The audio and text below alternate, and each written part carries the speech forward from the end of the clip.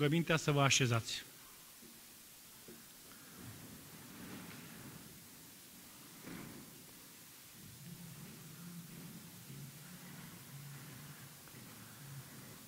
Onorați domn profesor din Academia Română, filiala Iași, distinși reprezentanța ai Radio România Iași, inițiatori ai acestei manifestări științifice, împreună cu reprezentanții din Târgu Jiu și din Timișoara, aflați alături de noi astăzi și aici. Domnule general și dragi camarazi din structură de apărare, ordine publică și siguranță națională, în activitate, în rezervă și în retrage. Preacucericii voastre reprezentanți ai Mitropoliei Moldovei și Bucovinei și ai diecezei romano-catolice de Iași. Stimați reprezentanți ai primăriei municipiului Iași, ai Muzeului Municipal Regina Maria Iași, ai Complexul Muzeal Național Moldova Iași, ai altor instituții de cultură și științifice din Iași, distinsă asistență. Am onoarea și deosebită bucurie de a vă adresa în numele comandantului Brigăzii 15 mecanizate Podul Înalt Iași și al garnizoanei Iași, aflat în prezent la un exercițiu de mobilizare, precum și al Muzeului Militar Ștefan cel Mare, filiala Moldova, a Muzeului Militar Național Regele Ferdinand I, co-organizator al acestei conferințe, un călduros. Bine ați venit celor din afara Iașului și bine ați revenit celor care ne sunt uh, alături de noi permanent în cazarma 768 din Bulevardul Carol I, numărul 7 din Copou, în această clădire de patrimoniu a Cercului Militar Iași, cu o vechime de peste 150 de ani, încărcată de istorie, unde între decembrie 1916 noiembrie, noiembrie 1918, ani de grele încercări privind supraviețuirea statului român, a funcționat Ministerul de Externe al României. Astăzi, 2 noiembrie 2021, aniversăm 80 de ani de când, la 2 noiembrie 1941, într-o zi de duminică, răsunau pentru prima dată în eter, pe lungimea de 259 de metri, cuvintele crainicului Petre P. Andrei. Aici, Radio Moldova. Erau vremuri de război. Trupele române înaintau pe direcția est, în războiul de reîntregire a granițelor de est și nord ale țării, rășluite de sovietici în, ultima, în urma ultimatelor din 26-27 iunie 1940. Radio Moldova avea misiunea de a informa în condiții de campanie și de a întări moralul ostașului român aflat pe front, precum și a celor aflați în spatele frontului. Detalii privind această aniversare în legătură cu acest subiect vă vor fi prezentate de distinși domn profesor Cătălin Tănase și Cătălin Turliuc și de doamna Petronela Cotea Mihai.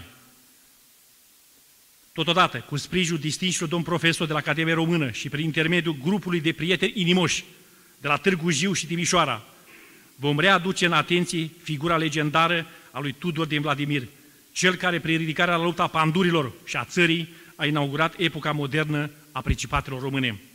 După cum se știe, Revoluția lui Tudor Vladimirescu a avut cauze naționale, economice și sociale și, deși a fost în cele de urmă înfrântă, a adus în atenția cancelarilor marilor puteri europene situația din Principatele Dunărene și a determinat Imperiul Otoman să pună capăt domniilor fanariote. Totodată trebuie remarcat că din perspectiva armată, Revoluția de 1921 a propulsat pe scena istoriei numeroși comandanți militari promovați exclusiv pentru meritele personale, cei din tâi conducători de oaste de la noi, în sens modern, cum aprecia Nicolae Iorga. Închei, exprimând calde și respectoase mulțumiri pentru doamna Petronela Cotea Mihai, Radio România Iași, inițiatoarea acestui proiect și toți cei care sunt alături de domnia sa. Acum, la 80 de ani, de când se transmitea în eter la 2 noiembrie 1941, aici, Radio Moldova.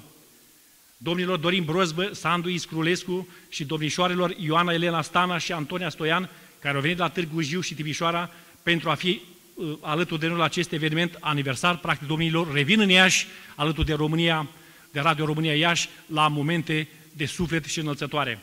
Academiei Române, excelenței sale domnului academician Viorel Barbu, aflat în prezent în Germania, și domnilor profesor Cătălin Tănase, care îl reprezintă Academia Română și pe domnul academician, și domnului profesor Cătălin Turliuc, de la Departamentul de Istorie al Academiei Române, filiala Iași, echipei tehnice, operatorilor, STS Iași, domnul general de brigadă, inginer Loredan Temneanu, Muzeului Municipal Regina Maria, personal doamnei Aurica Ichim, sponsorilor și tuturor celor care au fost alături de noi. Domnului Ștefan Sălăjan, pictor de biserici, un apropiat al structurilor militare și organizator al expoziției istorice Armata Română în războiul de întregire națională 1916-1920 și în războiul de reîntregire a granițelor 1941-1945, documente, decorații, accesorii militare, pe care vă adresăm uh, respectuos rugămintea. După uh, finalizarea activității, o veți vizualiza, sunt obiecte din colecția lui personală, de o valoare deosebită în cele cinci vitrine aflate pe, uh, pe partea stângă a sălii mari de expoziții. Dumneavoastră, celor prezenți și pe toți cei care îi reprezentați. La mulți ani Radio România Iași, la mulți ani pentru noi toți. Respect și prețuire tuturor. Urez succes conferinței noastre.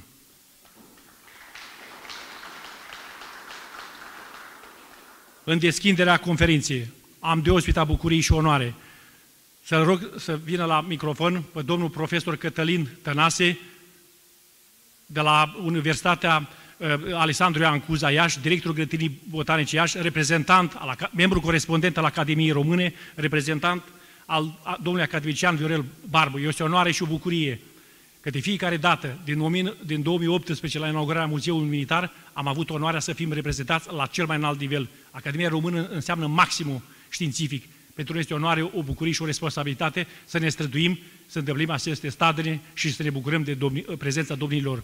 Domnule profesor, vă adresăm rugămintea să adresați mesajul domniei voastre.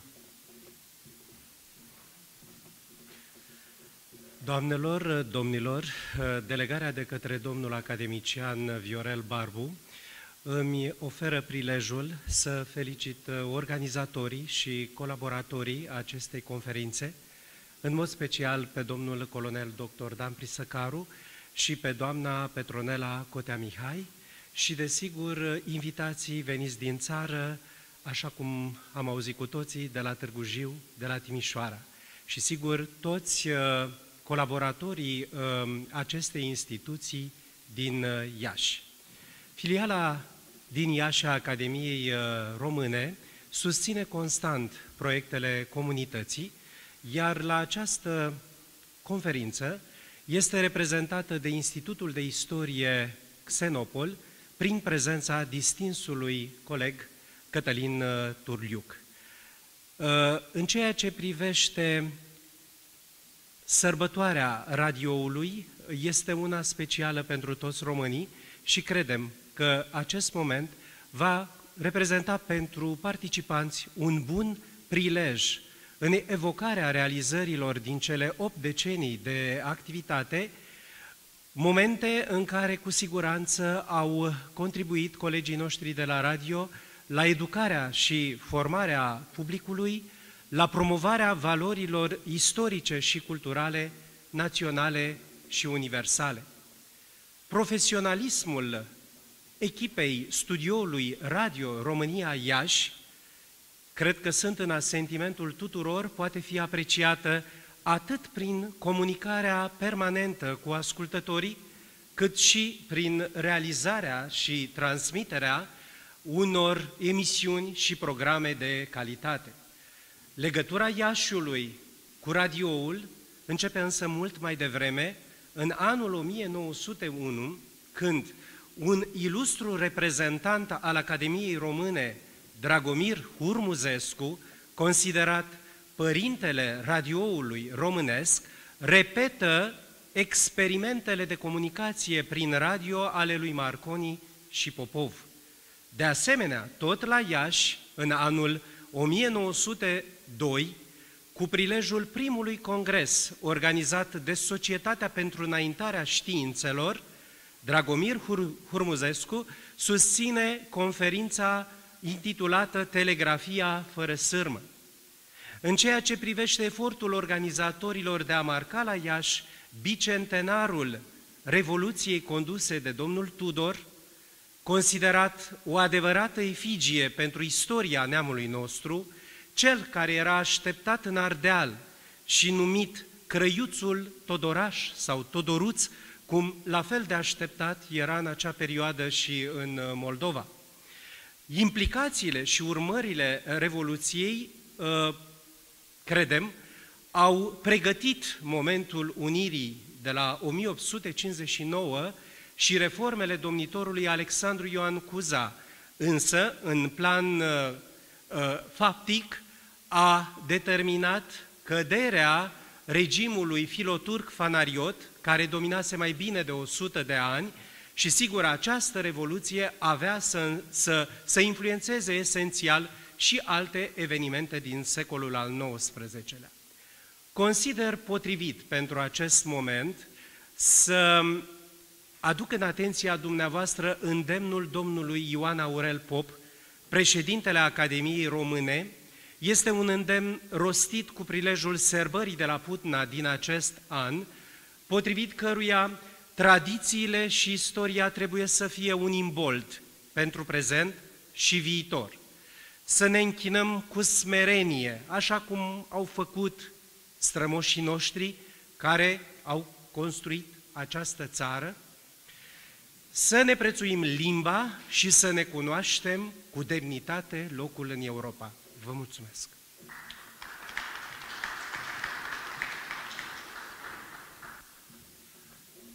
Calde și respectuoase, mulțumiri domnule profesor, vă adresăm respectuos rugămintea de a transmite domnului academician expresia bucuriei și gratitudinii noastre pentru faptul că sunteți uh, alături de noi.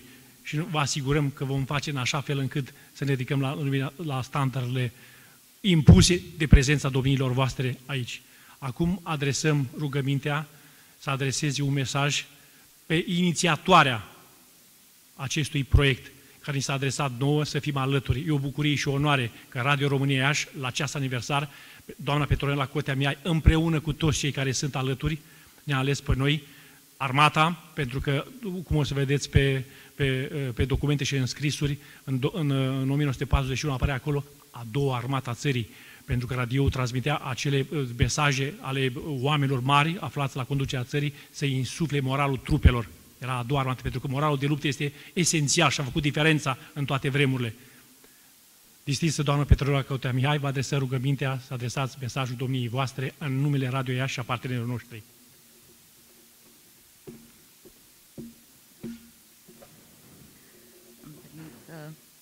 Scot masca.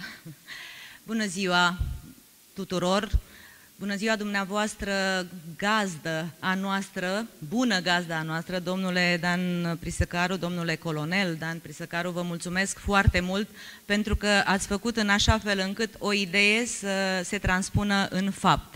Vă mulțumesc dumneavoastră, mulțumesc Muzeului Militar Ștefan cel Mare, filiala Iași a Muzeului Militar Național Ferdinand I, mulțumesc Brigăzii 15 Mecanizată Iași, mulțumesc Cercului Militar Iași pentru că, iată, ne găzduiesc și au făcut tot ce s-a putut pentru ca acest eveniment să se petreacă.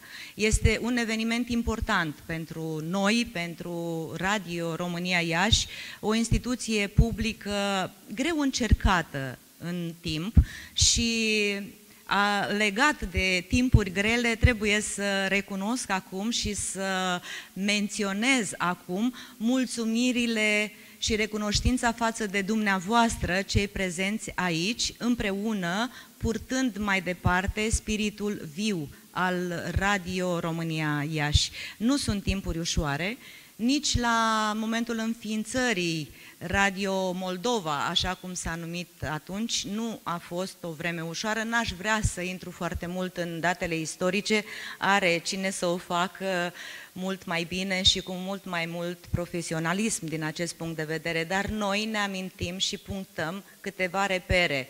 Radio Iași înființat în 1941, la 2 noiembrie, după ce primul post teritorial, regional, din cadrul radiodifuziunii române, fusese înființat în anul 1939 la Chișinău. Radiodifuziunea română, înființată în 1 noiembrie 1928, a gândit și a decis înființarea acelui post la Chișinău, Radio Basarabia, tocmai pentru că nu erau timpuri ușoare și pentru că trebuia într-un fel compensată, combătută propaganda rusească ce se făcea prin două noi posturi de radio înființate tot atunci. Numai că Dacă la, în octombrie 1939 a fost înființat Radio Basarabia, la numai câteva luni, în iunie 1940, Armata Roșie a aruncat în aer clădirea în care funcționa Radio Basarabia. Au murit colegi de-ai noștri acolo, au fost găsite cadavre în apropierea clădirii și mai târziu, în, la sfârșit de iulie 1941, s-a decis în Consiliul de Administrație al Radiodifuziunii, președinte fiind filozoful Tecucean, Tecuceanul Ion Petrovici înființarea la Iași a postului Radio Moldova. S-a înfăptuit la data de 2 noiembrie. În 1944, Radio Iași a fost redus la tăcere. A fost închis în timpul celui de-al doilea război mondial, redeschis în 1956, închis din nou în ianuarie 1985, Uh, nu intru în amănunte să vorbesc despre motive, dar redeschis în 22 decembrie 1989. Timpuri grele în vremurile de demult și în vremurile mai apropiate, așadar, și uh, ne povestesc colegii noștri, este aici domnul Aurel Brumă, uh, scriitor, epigramist, om de radio, mulțumim că sunteți alături de noi, mulțumim pentru că ne-ați făcut uh, identificându-vă viața dumneavoastră și toți colegii pe care îi salutăm cu viața radioului, ați făcut ca noi astăzi să ajungem aici și acum. Să ajungem o voce, o voce a Moldovei, o voce importantă, o voce cu ecou, o voce care a reunit nenumărate alte voci, de mari personalități care au avut ocazia de a vorbi la radio, care au uh, activat în radio Iași, care au uh, adus către Radio Iași noutăți din domenii diverse precum știm. Pentru că radioul public, Radio Iași, își împlinește menirea de a răspunde dreptului fundamental al omului la informație, din toate domeniile, de la cultură, spiritualitate, economie, știință, educație, armată și astăzi păstrăm în structura noastră de programe spațiu distinct destinat armatei, spațiu distinct destinat emisiunilor de credință, de asemenea spații pentru sate, spații pentru tineri și legat de tineri, permanent ne modernizăm și chiar dacă avem 80 de ani astăzi, noi suntem uh, bucuroși că se reînnoiesc generațiile de realizatori, dar și de ascultători. Dovadă este faptul că am rămas lideri în zona Moldovei. Radio Iași reprezintă o școală, Radio Iași este cu o audiență de invidiați, se află în topul studiourilor regionale din uh, țară. Așadar, avem și motive de mândrie, avem și mari responsabilități. De aceea am dorit ca în acest cadru, potrivit condițiilor de astăzi, să punctăm totuși acest moment important, 80 de ani de la înființarea studioului de radio Iași. Și pentru că știm și ținem legătura cu oameni care aduc performanță, care mereu ne amintesc de elemente esențiale din diverse domenii, am primit vești de la Târgu Jiu, am primit vești despre realizarea filmului documentar dedicat marelui conducător Tudor Vladimirescu, Tudor eroul din Vladimir, se numește filmul, și am spus ce poate fi mai frumos și este o datoria noastră să legăm această sărbătoare a radioului de un moment important din istoria țării, pentru că o altă misiune a noastră este aceea de a menține vie conștiința națională. Așa s-a făcut să vorbesc cu domnul colonel Dan Prisăcaru, iar domnul colonel a pus în fapt și suntem astăzi sărbătoriți așa cum uh, cred că nu ne-am gândit că se poate realiza. Vă mulțumesc încă o dată foarte mult și o să îmi permit să mă opresc aici uh, felicitându-i și salutându-i și pe toți cei care ne urmăresc pe Facebook, pe toți ascultătorii noștri, gânduri mm, alese, deosebite către colegii noștri, suntem peste tot. Unii sunt pe post în casele ascultătorilor, alții prin alte locații din Iași și din Moldova, ne facem datoria și noi aici. Iar uh, o datorie sfântă, sperând în vremuri mai bune când noi vom fi gazde, o datorie sfântă este aceea de a mulțumi într-un fel aparte celor care s-au implicat direct și nemijlocit în realizarea acestui eveniment. Și o să-mi permit să ofer un semn, o diplomă, câte o diplomă, și voi începe cu aspeții noștri uh, de la Târgu Jiu, domnul Dorin Brozbă, scriitor și documentarist. Vă mulțumim foarte mult, realizator și producător al filmului Tudor, eroul din Vladimir. Vă mulțumesc! De asemenea, domnul inginer Sandu Iscrulescu, director al filmului documentar Tudor, eroul din Vladimir. Domnul uh, director este originar din județul Gorj, de o viață locuiește la Timișoara, are activități economice acolo, dar nu și-a uitat rădăcinile, nu a uitat istoria noastră și a susținut realizarea acestui film. Felicitări și vă mulțumim! Avem și două tinere în care ne așezăm speranțele. Uh, Ileana Ioana Elena Stana este elevă, este narator al acestui film. Mulțumim că ești și aici alături de noi. Felicitări!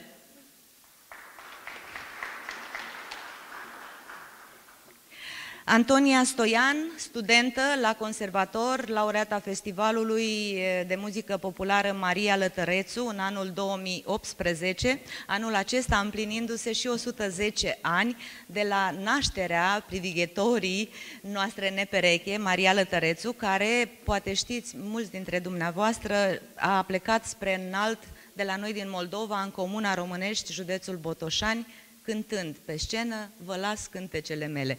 Mulțumesc, Antonia Stoian!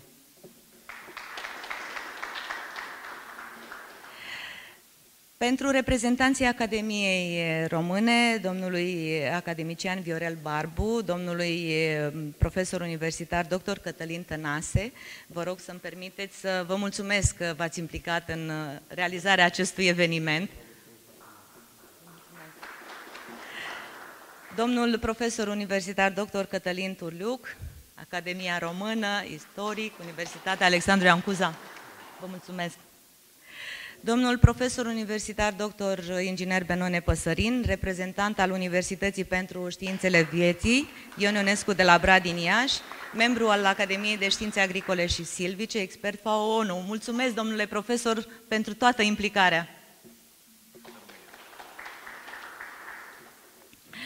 Domnului general de brigadă inginer Loredan Temneanu, șef al Serviciului de Telecomunicații Speciale Iași. Vă mulțumesc foarte mult. Toată recunoștința noastră. Domnului general de brigadă dr. Daniel Pop, comandant al brigăzii 15 mecanizată Podul Înalt Iași. Am spus, este la o de mobilizare, este așa, și de principii binecuvântate nu este aici. O să vă rog să mai rămâneți, pentru că uh, dorim să-i mulțumim și domnului colonel Ionel Munteanu, șef de stat major al Brigăzii 15 mecanizată Podul Înalt Iași. Brațul militar și direcționalul stat major a forței terestre pentru toate aceste activități științifice, pentru că aici se înțelegeți sub oruri diferite. Noi datorăm mult brigăzii care răspunde de zona de nord-est a țării, cazarma și infrastructura este a lor, Muzeul Militar ține de București. Dar tot ce înseamnă logistică și administrare aici așa este, uh, uh, ține de, de Iași atunci este reprezentantul desemnat și este aproape de noi. Domnului colonel Benone Tiron, șef al Cercului Militar Iași, ne găzduiește. Vă mulțumim. E pe teren.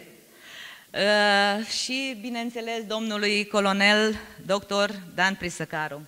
Vă mulțumesc pentru că ne onorați întotdeauna cu mesaje care oferă un plus de conținut emisiunilor noastre și pentru că ați făcut atât de multe pentru ca acest eveniment să se petreacă, repet, în condiții speciale și ne pare rău că nu am putut să avem un eveniment așa cum trebuia la 80 de ani, mare, amplu, dar suntem bucuroși că putem să aducem esență și aceasta vi se datorează, domnule colonel. Radio România Iași și noi e o onoare pentru noi că ne-ați ales pe noi, iar colegii mei toți în uniformă nu-și fac decât datoria.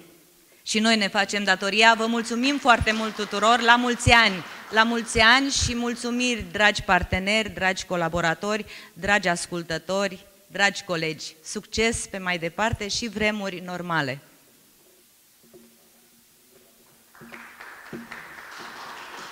Mulțumim, doamnă Petronă Cota Mihai, pe dumneavoastră și instituții. Noi nu uităm niciodată că începând cu 10 noiembrie 2018, în an centenar, când s-a înființat filiala deci Muzeul Militar Ștefan cel Mare, filiala Moldova. Așa e denumirea aprobată de ministru. Acolo scrie filiaș, pentru că când ai denumiri de asta înseamnă și funcții. Nu, noi suntem doi oameni aici, dar suntem alături de prieteni. Faptul că domniile voastre și pe toți care reprezentați aici ne obligă să ne facem datoria.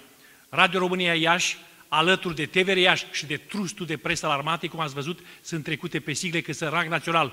Alături de noi sunt niște reguli de reprezentare în, pe documente. Sunt invitați toți postul de radio civile, pentru că toți au datoria și misiunea de a informa publicul larg. Dar de rațiuni de reglementări interne a Ministerului Apărării Naționale, Trustul de Presă Armate, Radio România Iași și TVR Iași sunt cele nominalizate. Mulțumim cu dată că ne-ați fost alături de noi și vă asigurăm că ne vom face datoria.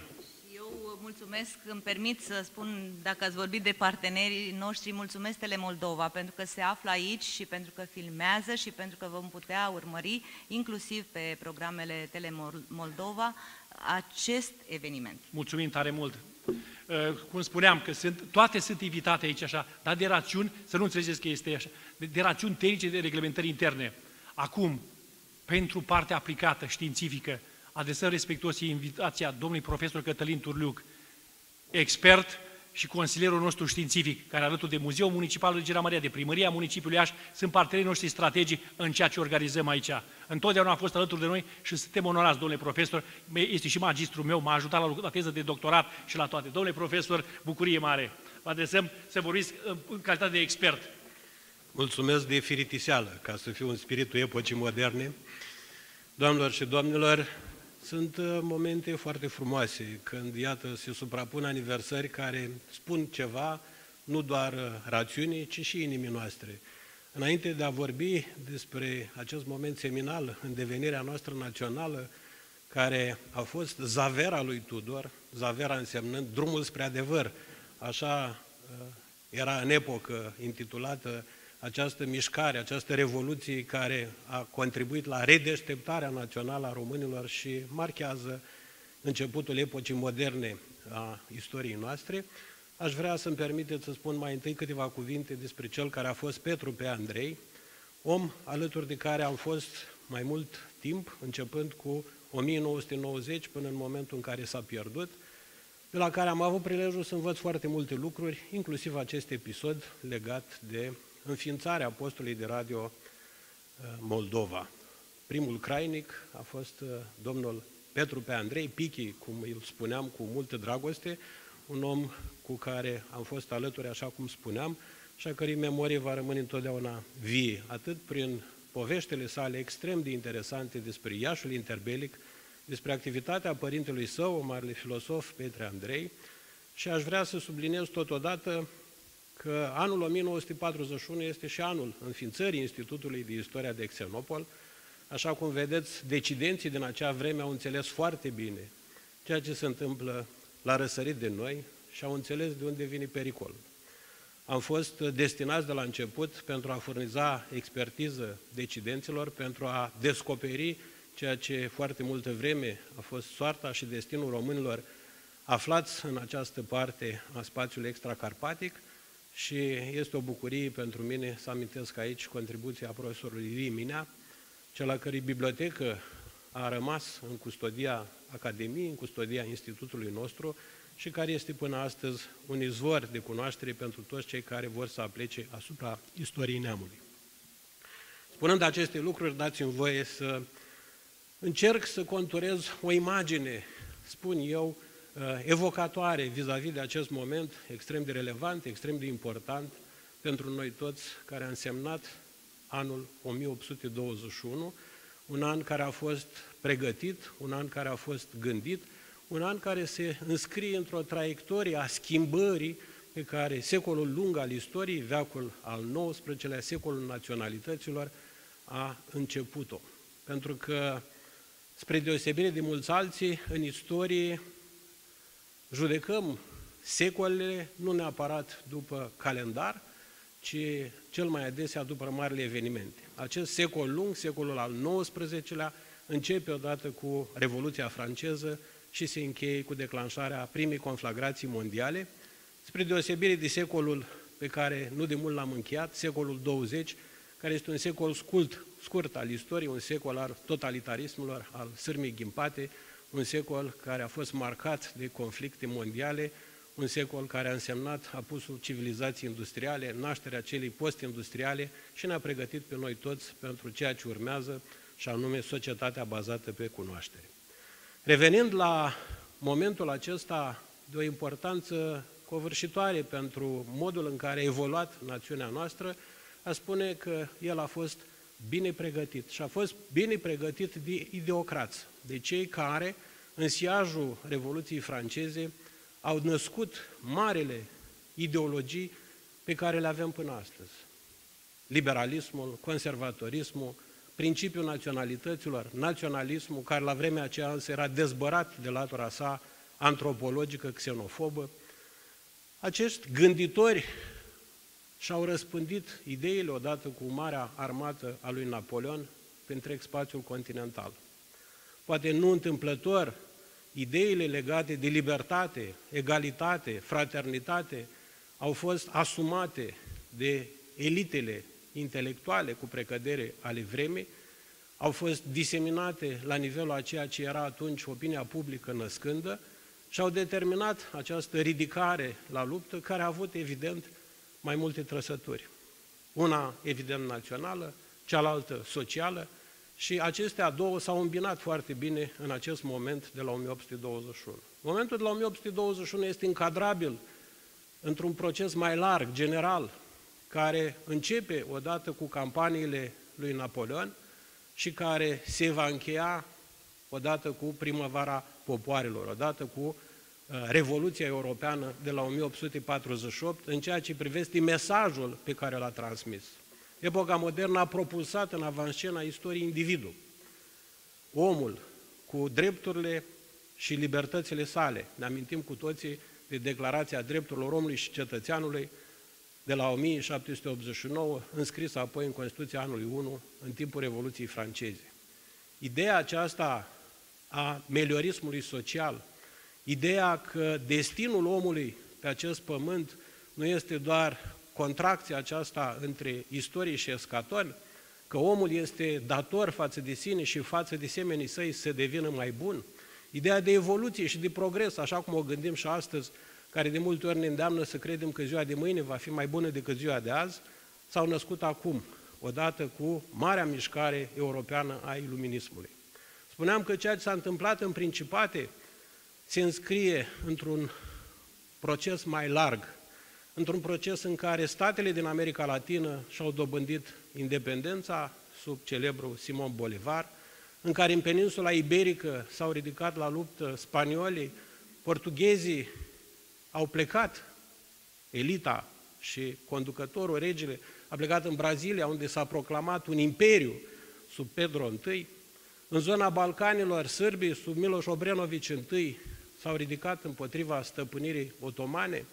E perioada în care haiducii, cum erau numiți de la sudul Dunării, au început să se manifeste împotriva pașalilor și de la Vidin, de la Calafat, ă, din toate, pe toată linia Dunării, încercând să-și ă, afirme această dorință spre libertate.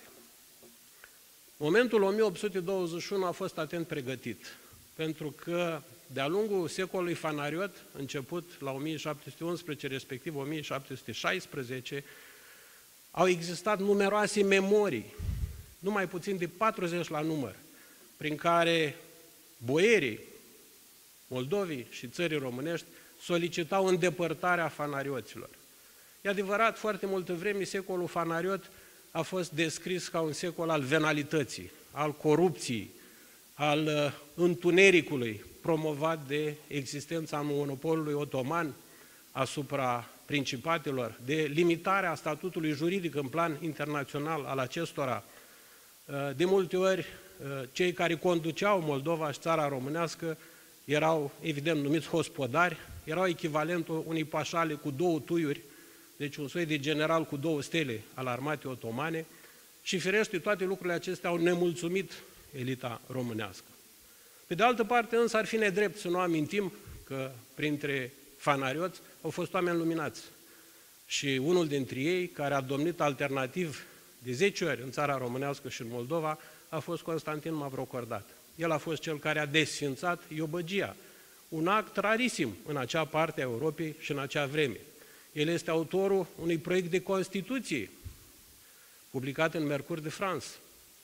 El este cel care a înțeles nevoia aceasta uh, de modernizare, așa cum se manifesta ea în forme incipiente la mijlocul secolului al XVIII-lea. Au existat și alții, precum Alexandru Ipsilante, care a fost un reformator și care a încercat limitarea și transformarea în bună măsură a servituții robilor uh, țigani, uh, a dat o pravilnicească condică încercând să organizeze administrația. Au existat, spuneam, și astfel de personaje pe care, evident, trebuie să le comparăm cu Hangerlii și cu alții care au folosit tronul principatelor pentru propriul lor interes. Evident, cumpărându-și tronul cu sume fabuloase, de la 8.000 de pungi de aur până la 20 de milioane de piaștri. Erau sume colosale și acest lucru a dus la această împilare și la această spoliere fiscală a celor care plăteau dăjdii, a celor care plăteau impozite și care erau foarte puțini, pentru că poslușnicii, cei care erau scutiți de plata dărilor, evident, includeau aristocrația vremei și clerul. În plus, este perioada în care multe dintre lăcașele de cult au fost închinate locurilor sfinte și în felul acesta, în mod evident, ceea ce numim astăzi produs intern brut, avea de suferit. Iată deci că aceste împilări de tot felul erau simțite și nevoia de schimbare, care era o nevoie generală, plutea în aer. Pentru că Tudor n-a fost singur. Sigur, el epitomizează acest moment, dar el n-a fost singur. A existat o mișcare pregătită, care s-a materializat în ceea ce a fost numit Comitetul de Oblăduire. Însă Tudor, chiar înainte de moartea oarecum dubioasă a lui Alexandru Suțu, care s-a aflat atunci pe tronul țării românești, la 18 ianuarie s-a întâmplat acest lucru, mulți spun că a fost, ar fi fost otrăvit, s-a organizat în acest comitet de oblăduire în care îl întâlnim pe Grigori Brâncoveanu, Grigori Ghica, Barbu Văcărescu, mari boieri ai țării care solicitaseră și înainte înlăturarea regimului fanariot, domnilor fanariote. Practic, în societate erau trei mari curente în rândul celor care la vremea respectivă aveau o voce și puteau spune ceva despre soarta țării. Era o grupare a boierilor care doreau în mod clar înlăturarea fanarioților și scoaterea din uh, scaunele uh, ierarhice ale clerului venit de la sud de Dunăre, a grecilor, în general, prin termenul de greci înțelegem creștinii sud-dunăreni, că nu erau neapărat etnic greci. Erau alții care doreau doar înlăturarea fanarioților care se aflau în poziții decidente, numeroase memorii solicitau ca fanarioții să vină însoțiți doar de patru personaje care să ocupe locuri în divan și, în fine, o a treia grupare care era legată prin interese economice, în primul rând, de domnile fanariote, care dorea să reziste cu orice preț și sistemul să fie menținut. Tudor s-a înțeles la 15 ianuarie cu cei care formau Comitetul de Oblăduire, el aflându-se în București încă din noiembrie 1820, lucru care ne dovedește că ceea ce s-a întâmplat în iarna și primăvara anului 1821 n-a fost întâmplător. A plănuit și a gândit o mișcare, pentru că el la rândul său era un om instruit pentru acea perioadă. Crescut la Curtea Băierilor Glagoveanu, știa mai multe limbi, să știu toate lucrurile acestea, a fost voluntar în războiul uh, ruso-otoman de la 1806-1812, a dobândit și o decorație, a avut un rang militar, a avut o instrucție, a reprezentat interesele sale uh, negustorești și ale uh, boierilor din Oltenia la Viena, era un om care înțelegea spiritul epocii și acest lucru a fost extrem de important pentru că în felul acesta ne și explicăm cum a intrat în legătură cu mari boieri ai țării. Nu era un oarecare. Tudor și-a ținut partea sa de promisiune, a plecat spre Oltenia natală, a știut ca la 23 ianuarie în celebra proclamație de la Padeș, să formuleze ceea ce Jean-Jacques Rousseau și enciclopediștii francezi făcuseră prin opera lor. Și anume, a introdus ideea contractului social într-o formă, cu ghilimele, românească. Spunea el, dacă șarpele îți iasă în cale, pui mâna pe ciomag să-ți aperi viața, dar pre balaurii care ne înghit de vii căpetenile noastre, cele politicești și bisericești, până când avem ale răbda, ne suge sângele. Era o formulare care exprima foarte clar această idee a contractului social. Conducătorii erau cei care au datori să asigure bunăstarea, securitatea, prosperitatea locuitorilor și firește el a știut să o exprime în așa fel încât să fie înțeles. După Padeș a urmat organizarea și spiritul de dreptate, temperamentul lui Tudor, înțelegerea situației în care se afla la vremea aceea și nu trebuie să omitem faptul că Oltenia fusese prădată de Pazvanoglu, uh, de trupele iregulate, iregulare, pardon, uh, otomane, uh, l-au făcut să înțeleagă că, de fapt, forța militară, chiar dacă nu va fi folosită în mod direct, va fi extrem de importantă în sprijinirea realizării acestui program pe care el îl formulează într-un celebru document redactat în tabăra de la Țânțăreni, undeva la 40 de kilometri de la Craiova, cererile norodului românesc. Ce dorea Tudor, ce dorea elita, să-i spunem, națională a acelei perioade? Evident, înlăturarea domnilor fanarioți, era un lucru foarte limpede și foarte clar pentru toată lumea, formarea unui corp de armată național de 4.000 de panduri, încetarea abuzului în domeniul fiscal, limitarea dăjdiilor ajunse șase la număr la doar patru, cele patru sferturi, cum erau numite și care funcționau încă din vremea lui Alexandru Ipsilante,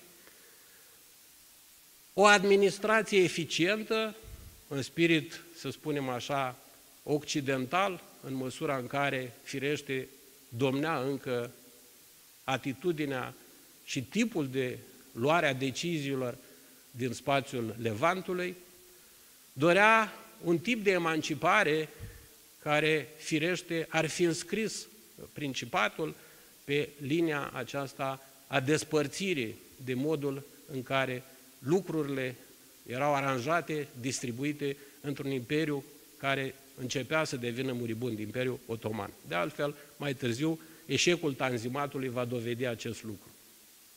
Sigur, Tudor a fost în conivență cu Eteria. O mișcare secretă, o mișcare paramasonică, alcătuită de trei mari negustori greci la Odessa în 1814, care a recrutat pe cumprisul Imperiului Țarist o parte din diaspora grecească și, firește, capitalul simbolic de care se bucura vechea Eladă, antichitatea greacă în mințile occidentalilor, a făcut pe mulți dintre cei care făceau parte din elitele grecești și nu doar, să se întoarcă cu gândul spre eliberarea patriilor aflate sub stăpânire otomană. De altfel, Grecia a și fost primul stat din Balcani care și-a dobândit independența la 1830, având inițial capitala la Naflio. E firesc că între cele două mișcări ar fi trebuit să existe o colaborare. O colaborare care însă s-a mărginit doar în câteva puncte legate de prezența alături de Tudor Vladimirescu a unor personaje care deja sunt cunoscute.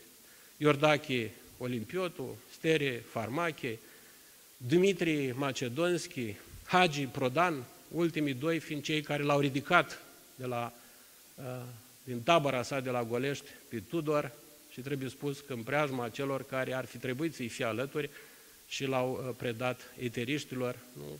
știm cu toții toate aceste episoade pe care oricine le poate găsi, toate se află la un clic distanță, dacă vorbim de epoca în care trăim.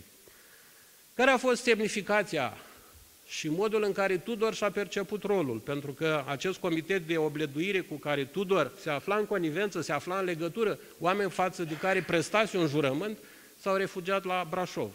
Au părăsit, uh, să spunem așa, principatul, realizând amploarea dimensiunii uh, sociale pe care o căpăta mișcarea lui Tudor. Mișcarea lui Tudor nu mai era doar o mișcare împotriva fanarioților, era o mișcare împotriva nedreptății, era o mișcare de emancipare socială. Și citatul pe care îl aveți aici, patria este norodul și nu tagma jefuitorilor, este răspunsul pe care el îl dă unei scrisori venite de la Văcărescu atunci când se pregătea să treacă oltul spre București. Tudor a înțeles că prezența sa la București este necesară, cele două proclamații adresate bucureștinilor la Bolentin și la Cotroceri, locul unde și-a făcut și tabăra, exprimau în mod clar dorința sa de a repune împreună cu adunarea norodului, de a repune administrația Principatului într-un temei nou. Evident, lucrul acesta era pe placul puținor dintre cei care exercitau conducerea țării, fie și provizorii în acel moment, se știu toate, uh, toată această mitologie creată în jurul persoanei sale, faptul că era de cu adevărat cel care conducea țara, nu, nu întâmplător formula domnul Tudor și așa mai departe, dar pe de altă parte trebuie să înțelegem foarte bine că el era conștient de realitatea acelei lumi, era conștient de faptul că eteriștii intrați în Moldova după ce grecii și-au proclamat independența aici la Iași, uh, vor reprezenta o forță care va trebui doar să tranziteze Principatul, să meargă să lupte la sudul Dunării pentru eliberarea țărilor și nu să transforme țara românească într-un câmp de bătălie, în felul acesta antrenând și pe Tudor. I s-a reproșat de către iteriști corespondența cu pașalele de la Dunăre. Uh, trebuie să înțelegem că în acel context, Tudor, care avea șase tunuri și mai puțin de 10.000 de oameni în armia sa, în armata sa, era conștient de faptul că nu avea cum să reziste. Și nu întâmplător, otomanii au tot amânat momentul intervenției lor, mai întâi temându-se de reacția Imperiului Țarist, așa cum bine știți, odată cu Congresul de la Viena din 1814-15 se născuse Sfânta Alianță, o alianță care a reprezentat în viziunea țarului Alexandru I al uh, tuturor Rusiilor o primă formă de areopag european, el invitase inclusiv pe Papa de la Roma să facă parte din această Sfântă Alianță, a fost de un ecumenism avant la letră, îmi spune. Azi, evident, el era un mare mistic, nici până azi nu știm unde e îngropat, a dispărut la 1825, fiind urmat de Nicolae. Ori această Sfântă Alianță, care se întrunea în congrese regulate, s-a întâlnit la Laibach, la Ljubljana de astăzi, pentru a vedea ce se întâmplă cu aceste mișcări din Balcani și pentru a vedea ce se întâmplă în Europa în general. Politica aceasta de congrese a Sfintei Alianțe a reprezentat, de fapt, încercarea de a reînvia ceea ce istoricii numesc ancien regim, vechiul regim, vechiul regim al monarhiei absolutiste, care, evident, se afla în direct opoziție cu ideile lansate de Revoluția franceză. Ne aflăm într-un moment în care Tudor realizează că sprijinul țarist pentru eterie nu există. Și că cancelarul Capodistria și ceilalți din jurul lui Psilante, pe care îi credea capabile a mobiliza în sprijinul mișcării acestei emancipatoare naționale a grecilor și a românilor, forțe militare care să stopeze, evident, uh, reprimarea brutală de către Imperiul Otoman a aspirațiilor lor, a dispărut. Și atunci a înțeles foarte bine că se află între Ciocan și Nicovală, între eteriștii care vroiau să-i înghită, practic, forța militară și să transforme linia Dunării și țara românească în câmp de bătălie pentru realizarea scopurilor lor, pe de o parte, și pe de altă parte, statutul pe care principatele îl aveau, care aspirau la autonomie de plină și nu spre independență, trebuie să spunem acest lucru, în cadrul Imperiului Otoman. Asta l-a făcut sau l-a pus, mai bine spus, într-o poziție extrem de dificilă. El și-a asumat acest lucru și gândul său a fost să se întoarcă în zona în care, firește, avea pregătit, pregătită din vreme o rezistență în fața invazii, o rezistență și în fața uh, otomanilor, firește, dar și în fața eteriștilor. Nu? Mănăstirile din subcarpații Munteniei, pe care le întărise Tismana și toate celelalte, acolo unde putea și credea că poate organiza o rezistență timp de mai multe luni și firește în felul acesta obține anumite condiții, pentru că era evident că n-avea cum să facă față forții militare otomane. Otomanii vor interveni, evident, uh, pașalele își vor porni trupele, 18.000 de oameni armate otomane vor pătrunde în Moldova, alți 15.000 în țara românească și știți foarte bine uh, destinul bătăliilor purtate uh, la Drăgășani sau aici la Sculeni, lângă Iași, unde ultimele forțe eteriste au fost zdrobite, uh, nu? detașamentele negre. Trebuie să spunem însă că destinul lui Tudor și modul în care și-a înțeles epoca epitomizează și o altă situație a modului în care românii în momente importante au uitat să fie solidari. Nu trebuie să uităm că Tudor a fost ridicat din mijloc armatei sale și că cei care au venit să-l ridice i-au întrebat pe pandurii care îl însoțeau uh, și care erau încarturiți la Golești, el se afla în turnul bisericii atunci când a fost uh, ridicat de Hagi Prodan și Dimitri Macedonski, ei au fost întrebați, pe cine vreți, cine vreți să vă conducă? Tudor sau noi, sau Macedonski și Prodan? Și Panduri, așa cum ne spune uh, Liprandi, un uh, istoric, în fine, nu era istoric, unul care a consemnat toate faptele din acea perioadă, uh, Pandurii au, i-au dorit conducători pe Macedonski și pe Hagi Prodan. Tudor a fost condus mai întâi în, uh, într-o casă unde a fost ținut peste noapte, apoi judecat și uh, care avea cel care îl va și ucide, a primit ordin uh, din partea lui Ipsilante și a Eteriei să procedeze în felul acesta, pentru că Tudor a plecat cu credința că va fi judecat, apropo de raporturile pe care le avea el cu Eteria și de faptul că scrisorile pe care le schimbase cu pașalele otomane ajunseseră prin trădare în mâna eteriștilor. Moartea sa, noaptea de 26 pe 27 mai, a fost asociat unui ritual pe care Eteria l-a practicat, spuneam, Eteria fiind o societate paramasonică, în care, uh, nu, modul în care a fost torturat, uh, ucis și uh, trupul său, spune, se aruncat într-o fântână, ne duce cu gândul spre o asemenea pedeapsă, care evident era nemeritată și care se făcuse tocmai din frica eteriștilor că cei care erau chemați să-l judece, pământenii, îl vor elibera. S-a întâmplat, firește, că această crimă să rămână oarecum nepedepsită și știți foarte bine că din acest moment, de la 1821, Tudor a devenit practic un martir și un erou. Un martir al cauzei sale, al cauzei emancipării naționale și sociale și un erou care a înțeles foarte bine un context mult mai larg în care mișcarea sa se înscria și a înțeles care sunt limitele unui astfel de ridicări la luptă.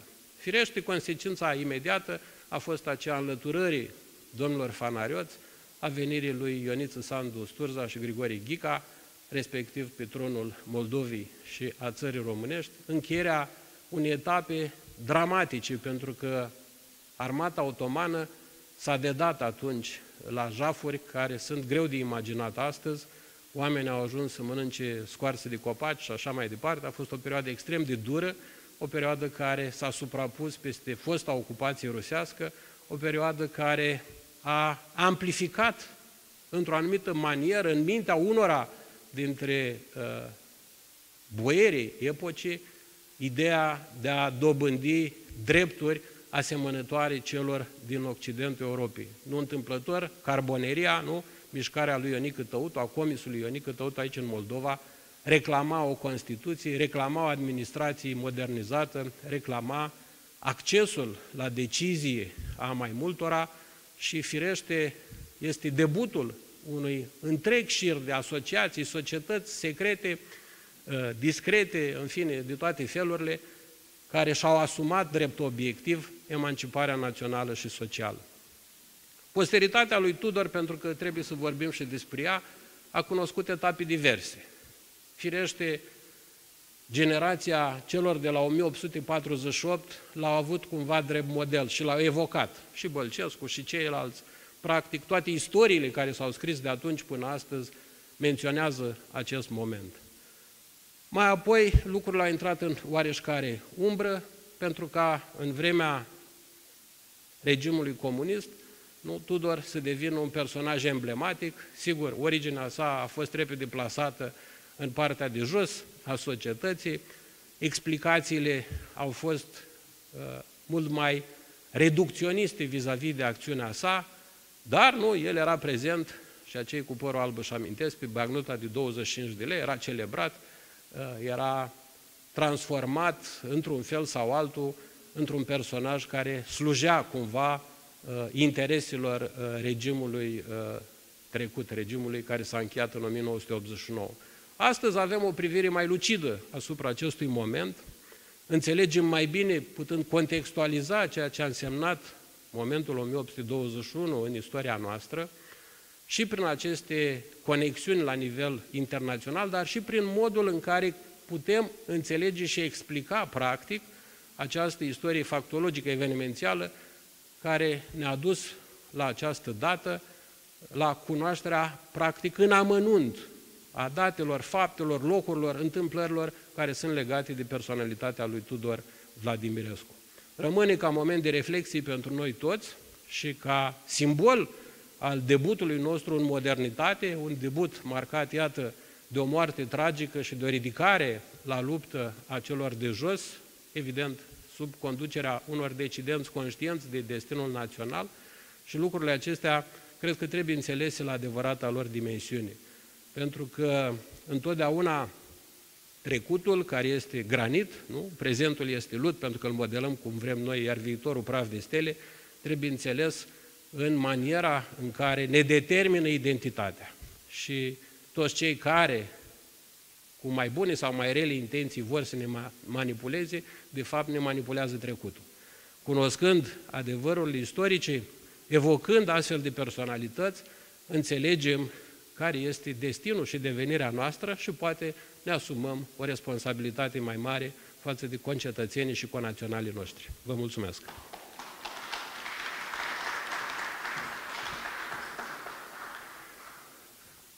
Calde și respectoase mulțumiri, domnule profesor, pentru radiografia lui Tudor Vladimirescu a epocii, a implicațiilor și consecințelor. Noi astfel de activități le registrăm și o să fie transcriptul. Și o să încercăm de-a lungul, ă, așa, să le încropim un volum ca să rămână moștenire. Înainte de da, da legătura în termeni radio, doamnei Petronila Cotea Mihai, sau a predat comanda în termeni militari, permite să includ un mic adagiu, nomen audiozum, mi s-a mai întâmplat și în alte părți acolo, când oameni dragi apropiați acolo, când părăsești lista, îți sare ochii acolo și când te uiți îți dai seama, oameni care au fost apro- apropiați de noi. Și permite să două completări să fac.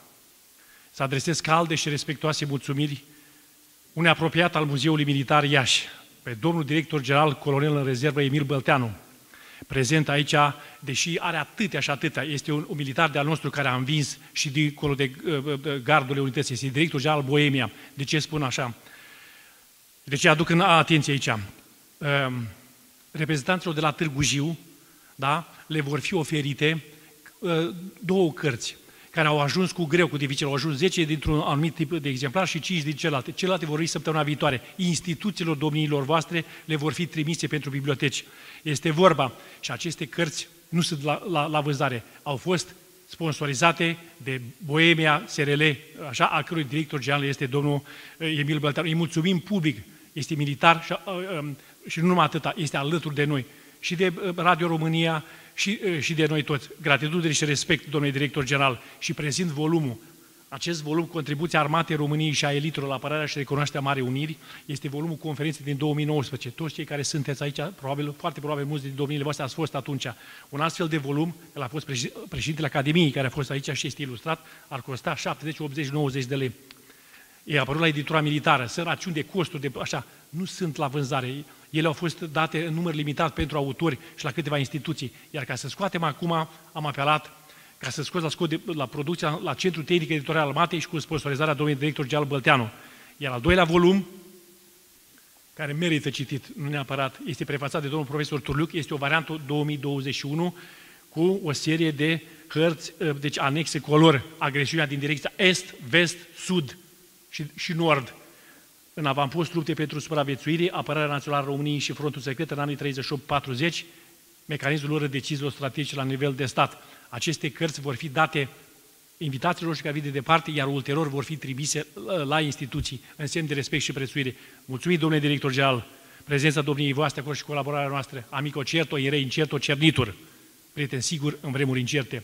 Să mulțumim în același timp domnului profesor Stoleru, vă rog să transmiteți domnului Jităreanu, domnului Stoleru și până dumneavoastră. Nu uităm că ne-ați fost la greu, deci în conferința din 2021, când ai resurse financiare, e ușor să organizezi evenimente. Dacă nu ai nimic, aproape pentru că, deci potrivit regulatorul în vigoare, astfel de evenimente trebuie să ții cam atâta. Deci două ore, nu trei zile și trei nopți. La conferința de anul acesta cu polonezii, cu statele baltice, nu uităm, transmiteți mulțumirile noastre. Și dacă am uitat ceva, tuturor celor prezenți, domniile voastre care ați fost alături de noi și ne dați putere de a merge înainte. Predau legătura și comanda doamnei Petronela Cotea Mihai, deja suntem oarecum în întârziere, pentru a-i prezenta pe prietenii din și moști care au bătut 600 de kilometri de la Târgu Jiu și la Timișoara și ca să prezinte secvențele și momentele domniilor. Vă mulțumesc, domnule colonel Dan Prisăcaru. Am preluat legătura, nu voi ține mult, ca să intrăm, intrăm direct în uh, conținutul uh, momentului artistic, să spunem, dar de fapt un moment istoric realizat altfel. Filmul documentar Tudor, eroul din Vladimir, domnul Dorin Brozbă, este invitat aici și mai apoi momentul întreg îl veți servi chiar dumneavoastră, da? La comandă, vă rog.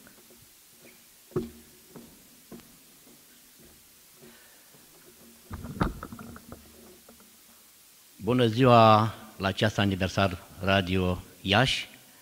Bună ziua, dragi și minunate gazde de aici, de la Muzeul Național uh, Militar Ferdinand I, filiala Iași.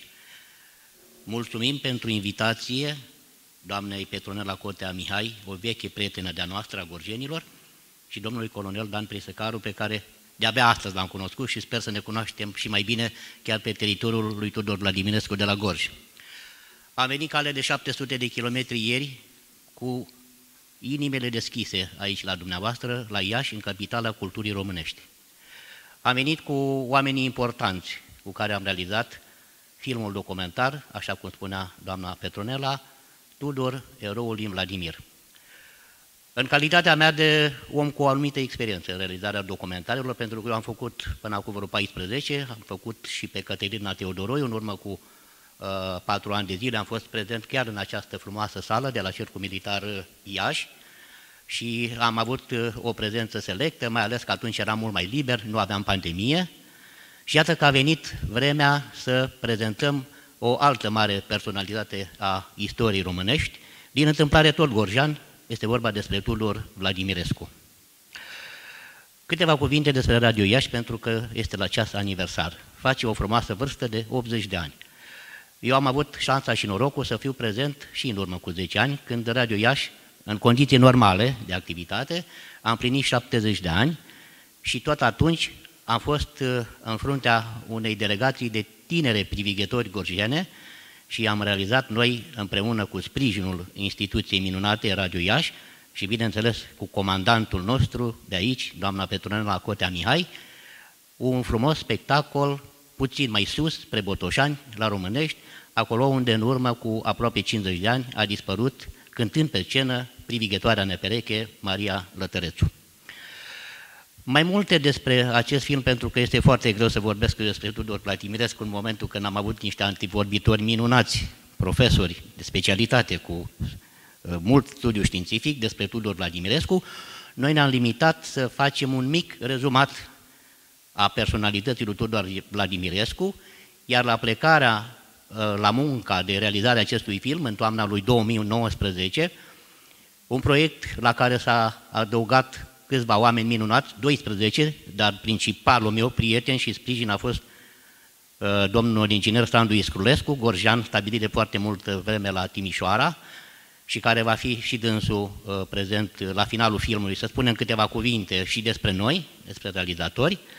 L-am realizat în condiții nu ușoare, pentru că știți și dumneavoastră și anul trecut am fost în plină pandemie și am ținut morțiși să fiu prezent și să fim prezenți chiar pe locurile călcate odinioară de Tudor Vladimirescu și am plecat de la Vladimir, am continuat la Târgu Jiu, la Padeș, la Glogova, la Cerneț, Mehedinți, unde de fapt era și casa Marelui Pandur, și ne-am continuat drumul spre Haia, București, Golești și sigur că în ultimă instanță am fost prezenți și la Târgoviște, acolo unde a dispărut în data de 27 mai 1821. Ca să vă introduc în atmosfera filmului, o invit alături de mine pe o copilă foarte, foarte talentată. Anul trecut când am făcut filmările avea doar 12 ani, acum a mai crescut un anișor. Numele ei este Ioana Elena Stana, are 13 ani acum și este elevă, nu se putea mai bine, a școlii gimnaziale Ecaterina Teodoroiu din Târgu Jiu. O să o vedeți în film, ce evoluție frumoasă are, dar acum tot am bătut noi atâta cale, am zis să interpreteze la vioară și o doină de jale gorjenească dedicate marului comandant de panduri, Tudor Vladimirescu. Ioana Elena Stana, în vârstă de 13 ani, de Târgu Jiu.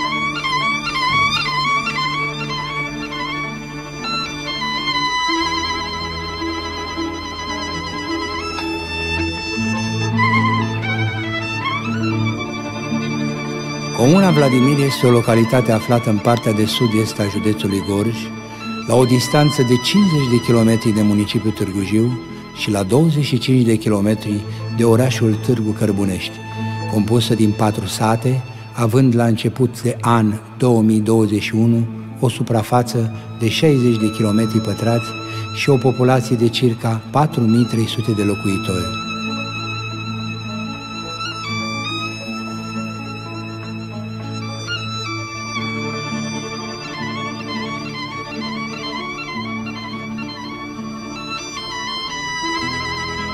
Aici, în această micuță casă din lemn, compusă din două camere, cu prispă, specifică așezămintelor țărănești din secolul al XVIII-lea, a văzut lumina zilei micuțul Tudor, în jurul anului 1780, cel de-al treilea copil venit pe lume după frații mai mari, Pavel și Constantina, ai tinerei familii Constantin Vladimirescu, zis Ursu ajuns în zona de prin Blaiul Cloșanilor din Prejna și Ioana Vladimirescu, o fată a locului, fica preotului Grigore Bondoc din Vladimir.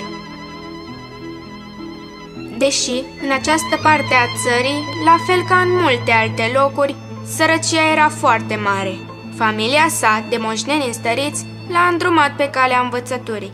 Mai întâi, mezinul Tudor a învățat să scrie și să citească de la un moșneag din sat, alături de care păștea vitele pe dealurile din apropiere. Apoi, pe la 9 ani, de buna sa știință de carte, s-a ocupat preotul Pârvu Cihoiu, fapt ce l-a ajutat mult, încât, pe la vârsta de 12 ani, apreciindu-i calitățile intelectuale, o rudă apropiată de a familiei, condicarul Ion Lupu, a găsit de cuviință să-l ia sub directa sa îndrumare la Craiova.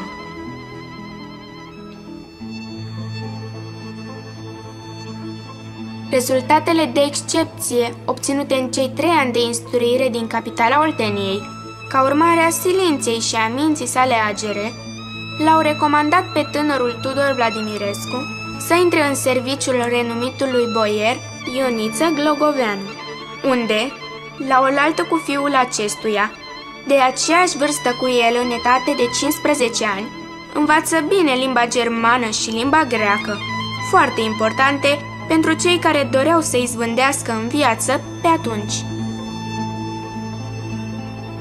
După o ucenicie de aproape 2 ani de zile, aici, la curtea bogatului craiovean, impresionat de știința de carte și de înțelepciunea tânului Gorjan, boierul Ioniță Glogoveanu îl numește pe Tudor Vladimirescu la doar 17 ani administrator la moșire sale din Baia de Ramă și din Glogova. În acea perioadă, principala afacere a lui Glogoveanu era creșterea vitelor, boi, vaci, capre și oi, animale pe care le vindea în Transilvania, loc de unde se obțineau venituri financiare consistente. Până la urmă, acest fel de negoț i-a fost util și lui Tudor Vladimirescu, care prin abilitatea sa de vânzător a devenit la rândul său un om prosper cu o stare materială foarte bună.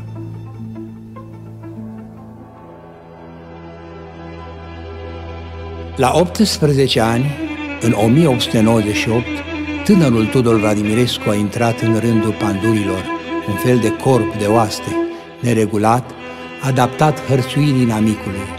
Pandurii constituiau o categorie privilegiată în mijlocul țărănimii oltene și se bucurau de scutire de impozite, precum și de alte privilegii. Faptul de a fi făcut parte din acest corp avea să fie decisiv pentru cariera ulterioară a dibaciului gorjan. În timpul primei domnii a lui Constantin Ipsilanti, 1802-1806, Tudor a fost ridicat la rangul de comis, un fel de dregător al statului, iar în a doua domnie a fost numit vătaf de plai la Cloșani. Prin ordinul din 20 decembrie 1806, adică de administrator al unui district important de munte, ceea ce l-a pus în legătură directă cu căi Măcănia Craiovei, instituția reprezentativă a domnitorului țării prin intermediul căreia devine destul de cunoscut în cercurile înalte ale Olteniei. Cu mici întreruperi, Tudor va păstra această vătășie până la sfârșitul anului 1820, cu puțină vreme înainte de izbucnirea Revoluției.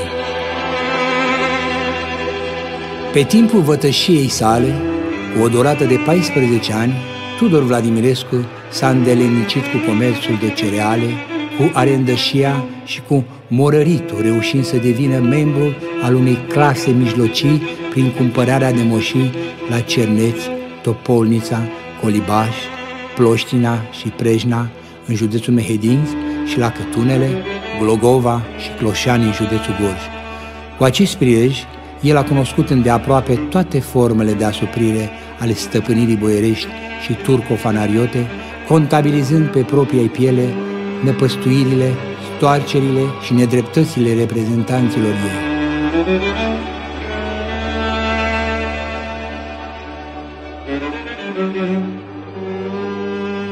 Preșna este o micuță localitate din nordul județului Mehedinți, nu departe de orașul Baia de Aramă.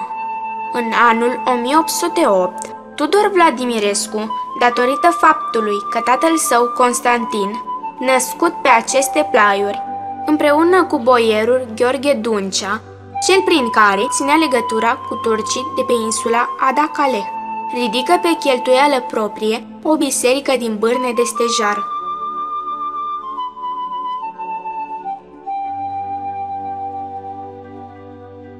Ea poartă hramul Adormirea Maicii Domnului, iar mai târziu, în anul 1859, pe timpul lui Cuza Vodă, locuitorii Prejnei au ridicat ziduri noi, de cărămidă, pe care se aflau icoanele pictate de Ghiță Zugravul.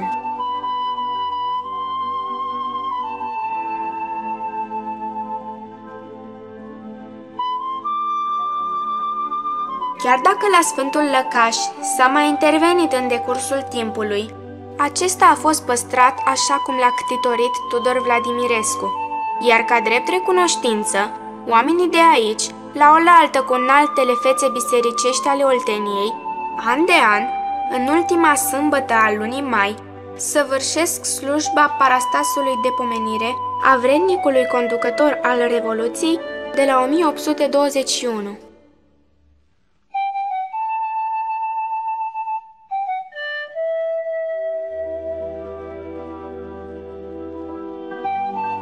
În perioada 1806-1812,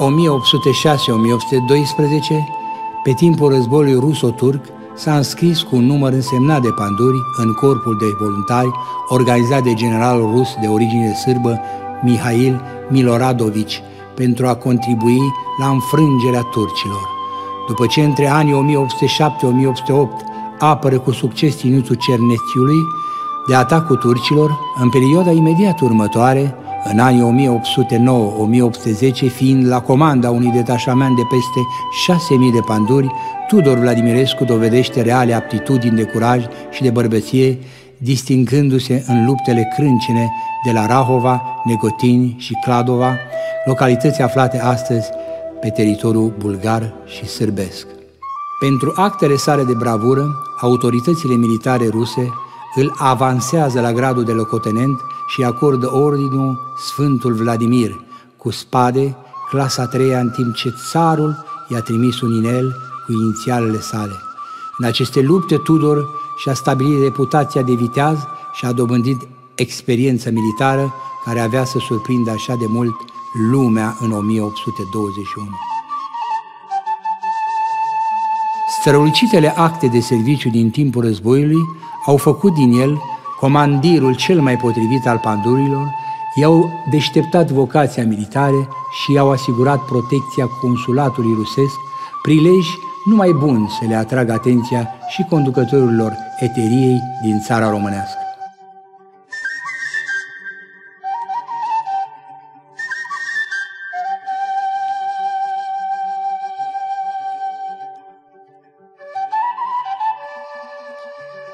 Reîntors în viața civilă, Tudor Vladimirescu își continuă munca atât ca slujbaș al statului, ca vătav de plai, cât și cea de negustor de animale și produse alimentare. domenii ce l-au apropiat și mai mult de familia vechiului său prieten și coleg de școală, Nicolae Glogoveanu. Acum, ispravnic de mehedinți, fiul lui Ioniță Glogoveanu, din Craiova, stabilit de această dată la cula de pe moșea din localitatea Glogova, județul Gorj. Urile rele de atunci dădeau de înțeles că viitorul revoluționar a trăit o minunată poveste de dragoste cu Elena, soția boierului, care era o femeie inteligentă, foarte frumoasă, cu talent muzical, iar Maxin Cuța, cea mai mică dintre fete, ar fi fost fica lui Tudor Vladimirescu.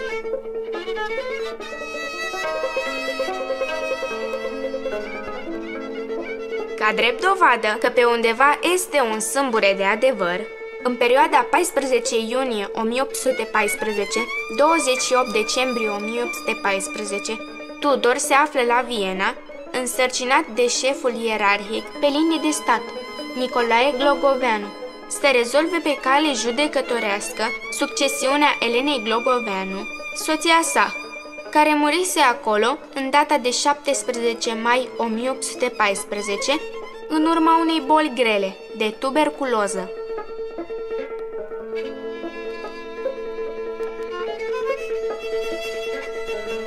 La întoarcerea în țară, prin Banat, spre sfârșitul lui decembrie 1814, cu misiunea bine îndeplinită, Tudor Vladimirescu a aflat la Orșova că turcii din Ada Caleh i-au distrus gospodăria de aici, de la Cerneți, ocupând totodată localitățile Strehaia și Tizmana. Paguba imensă pricinuită avutului său l-a făcut pe Tudor să încolțească în minte pentru prima dată ideea de revoltă împotriva turcilor și a stăpânirii fanariote din țara românească.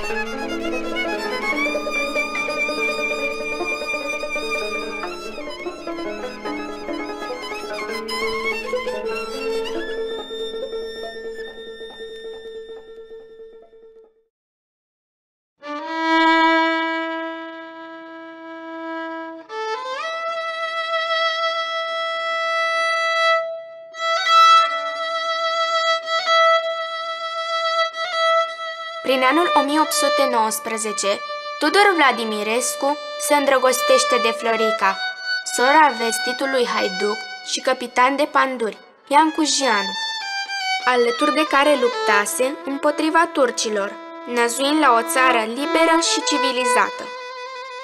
Primește acceptul lui Ian Cujianu și se logodește cu Florica, în acest minunat loc, la mănăstirea Surpatele din județul Vâlcea, pregătindu-se de nuntă. Cu acest prilej, guvernatorul Olteniei, Serdarul Stoica, un dușman al Pandurului, se decide să le strice petrecerea celor două familii. O răpește pe Florica și o batjocorește, iar aceasta, din cauza cumplitei rușini, se sinucide prin spânzurare. E înmormântată cu mare jale de către Tudor și de către fratele ei, Ian Cujianu, iar groaznicul făptaș este prins și ucis chiar pe locul de îngropăciune al fetei de 17 ani.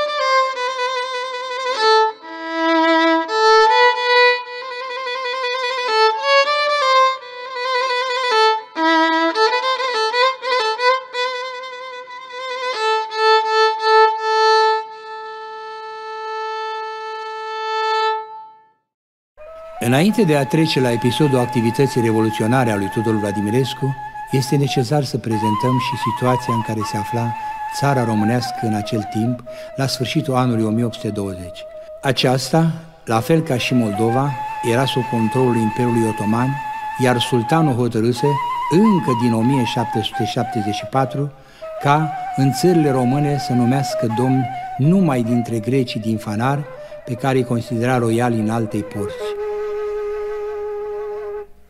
Prin anul 1814, la Odessa, în Rusia, ia naștere Societatea Secrete Frăția, cunoscută drept Eteria, din care făceau parte mulți negustori greci și aristocrați ce sperau ca Imperiul Rus îi va sprijini la eliberarea Greciei de turci. La oaltă, ca pe celelalte națiuni, cum erau Moldova, țara românească, Serbia și Bulgaria, iar în peninsula balcanică să triumfe lumea creștinismului. De aceea, nu întâmplător datorită faimei conducătorilor săi, contele Ioanis Capodistrias, ministrul de externe al Rusiei și Alexandru Ipsilanti, general în armata rusă, fiul fostului domnitor al Moldovei și al țării românești Constantin Ipsilanti, cu toții greși de origine, îl fac pe Tudor Vladimirescu să afirme sigur pe el că în această mișcare stă o mare putere care ne va elibera și ne va lăsa independenți. Gorjanul din Vladimirul Grojului a ridicat steagul răscoalei ca membru afiliat al eteriei grecești după planul și cu mijloacele stabilite de aceasta în perioada noiembrie 1820-ianuarie 1821, când a stat în capitala țării. Ca să fie sigure de implicarea sa totală, pe lângă sprijinul material, căpetenile eteriste i-au fluturat prin față lui Tudor mirajul domniei pe care ar fi dobândit-o odată cu emanciparea țării după izgonirea turcilor. Încrezător în promisiunile acestora, Tudor spunea în acel moment Noi vom înlezni trecerea prințului Alexandru Ipsilanti peste Dunăre, ca să meargă pentru eliberarea patriei sale, iar nouă ne vor ajuta rușii ca să luăm cetățile de pe pământul țării noastre și apoi ne vor lăsa liber și cu legile noastre. În plus, el a avut o înțelegere și cu mari boieri Grigore Brâncoveanu, Grigore Ghica și Barbu Văcărescu, care l-au sprijinit să ridice norodul cu arme spre obștescul folos al neamului creștinesc și al patriei românești. În noaptea de marți, 18 ianuarie 1821, Tudor Vladimirescu l-a luat pe Iova, nepotul lui Georgakis, Olimpios, alias Iordache Olimpiotul, șef important al eteriei, cu 25 de arnăuți din garda domnească și a plecat din București în mare taină ca să revoluționeze Oltenia. În drumul spre Pitești, Dimitri Macedonski, ofițer rus, îi mai pune la dispoziție încă 15 arnăuți, iar în momentul când ajunge la Ognele Mari, Vâlcea, în seara zilei de 19 ianuarie, află de moartea domnitorului Alexandru Șuțu, fapt ce pare a ușura misiunea de a răzvrăti mulțimea de țărani și de boieri nemulțumiți față de dările de tot felul și de domnii veniți din străinătate. Vineri, 21 ianuarie 1821, pe la miezul nopții, a descins în această casă din Târgu Jiu, la Sameșul județului Gorj, Vasile Moangă, unde a mâncat la repezeală și a potcovit caie. A trecut prin Brădiceni Peștișani, iar seara, sâmbătă, 22 ianuarie, a ajuns la mănăstirea Tismana, locul de unde spun apropiații, Tudor a ieșit cu haine schimbate, în costumul lui de comandant, așa cum l-au popularizat gravurile de mai târziu.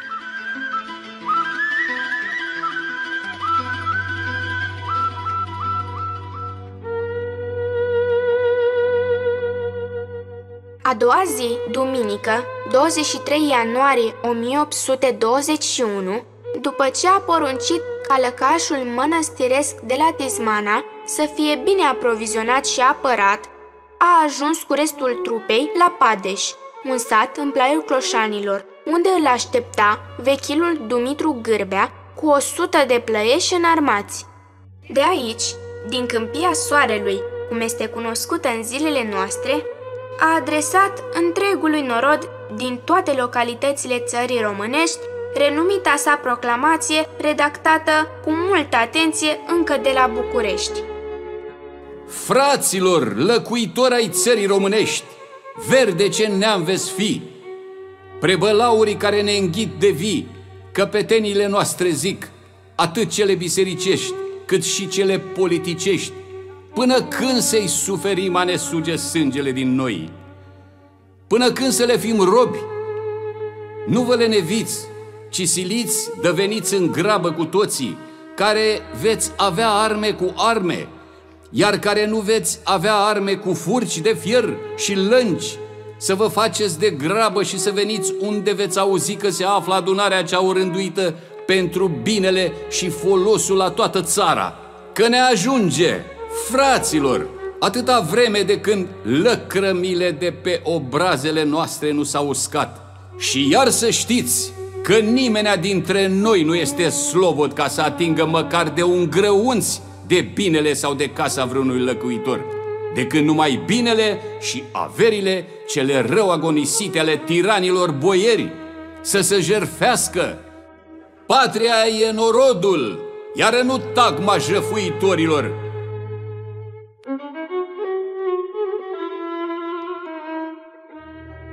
După ce a strâns numai din plaiul cloșanilor 600 de oameni, adunați gata de revoluție, Tudor, avându-i alături pe capitanii săi, Macedonski și Gârbea, proclamă desfințarea birului și le promite celor prezenți că va extermina pe toți asupritorii poporului, urmând să apară o altă clasă boierească care să lupte alături de cei mulți.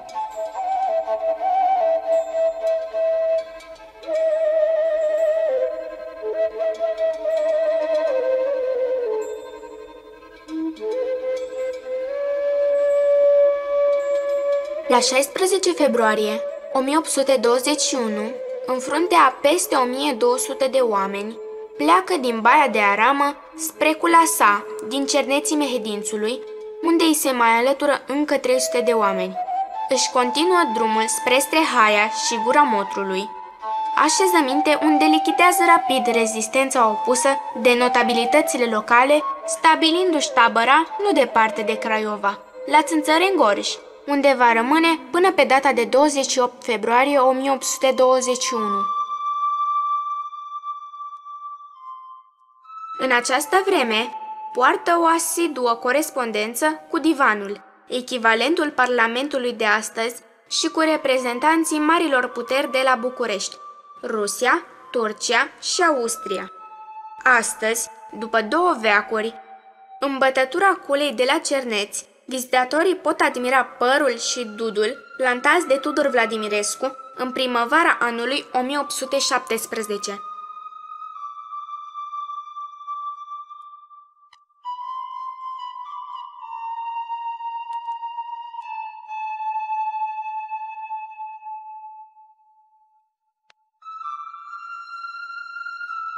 Îndelungata staționare de aici, de la Țânțăreni, Gorj, a adunării norodului, armata lui Tudor, dar și organ reprezentativ al poporului, are la bază motivații strategice, politice și diplomatice.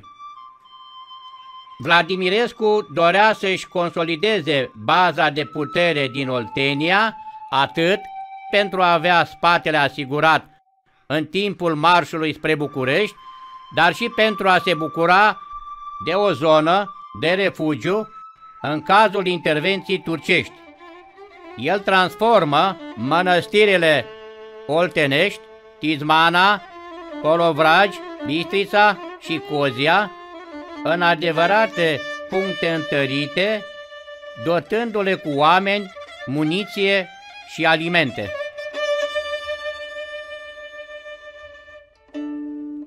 La o lună după lansarea proclamației lui Tudor, la 23 februarie 1821 la Iași, și-a făcut apariția și conducătorul Eteriei, Alexandru Ipsilanti, general în armata rusă și până de curând aghiotant al țarului Alexandru I, dar nu cu sprijinul armatei ruse, cum se așteptau inițiații mișcării, ci în fruntea unui modest corp de oaste. În timp ce eteriștii masacrau pe turcii din Galați și Iași, Alexandru Ipsilanti a lansat o proclamație arătând că scopul este să treacă în Grecia și că dacă turcii ar invada țara românească, o strajnică putere se află pregătită să pedepsească îndrăzneala lor, făcând aluzie la Rusia. În aceea zi, contele Ioanis Capodistrias, ministrul de externe al Rusiei, devenit ulterior primul președinte al statului grec, a anunțat desolidarizarea strașnicei puteri de faptele și declarațiile lui Ipsilanti și exprima acordul pentru intervenția militară otomană. Câteva zile mai târziu, triumviratul ce susținea Revoluția românească boierii Brâncoveanu, Ghica și Văcărescu, dându seama că fără sprijinul Rusiei totul este pierdut, au fugit la Brașov, lăsându-l pe conducătorul adunării norodului, fără ghidajul politic pe care și-l asumaseră. Rămas singur, Tudor avea o totală libertate de acțiune, iar la 28 februarie 1821, în fruntea a 8.000 de oameni, își croiește drum spre București, trecând prin Slatina și Pitești, iar la 16 martie, de la Bolintin, lansează proclamația către bucureșteni prin care îi chema la lupta antiotomană. Să ne unim, dar cu toții, mici și mari, și ca niște frați, fii ai unei maici, să lucrăm cu toți împreună, fiește care după destoinicia sa, pentru câștigarea și nașterea a doua a dreptăților noastre. În data de 21 martie, Vladimirescu va intra în București cu o armată de câteva mii de oameni pentru ca în următoarele zile să-și așeze tabăra militară pe platou de lângă mănăstirea Cotroceni, lăsând garnizoane de panduri pentru o pază atentă și la mănăstirile Mihai Vodă, Antim și Mitropolie.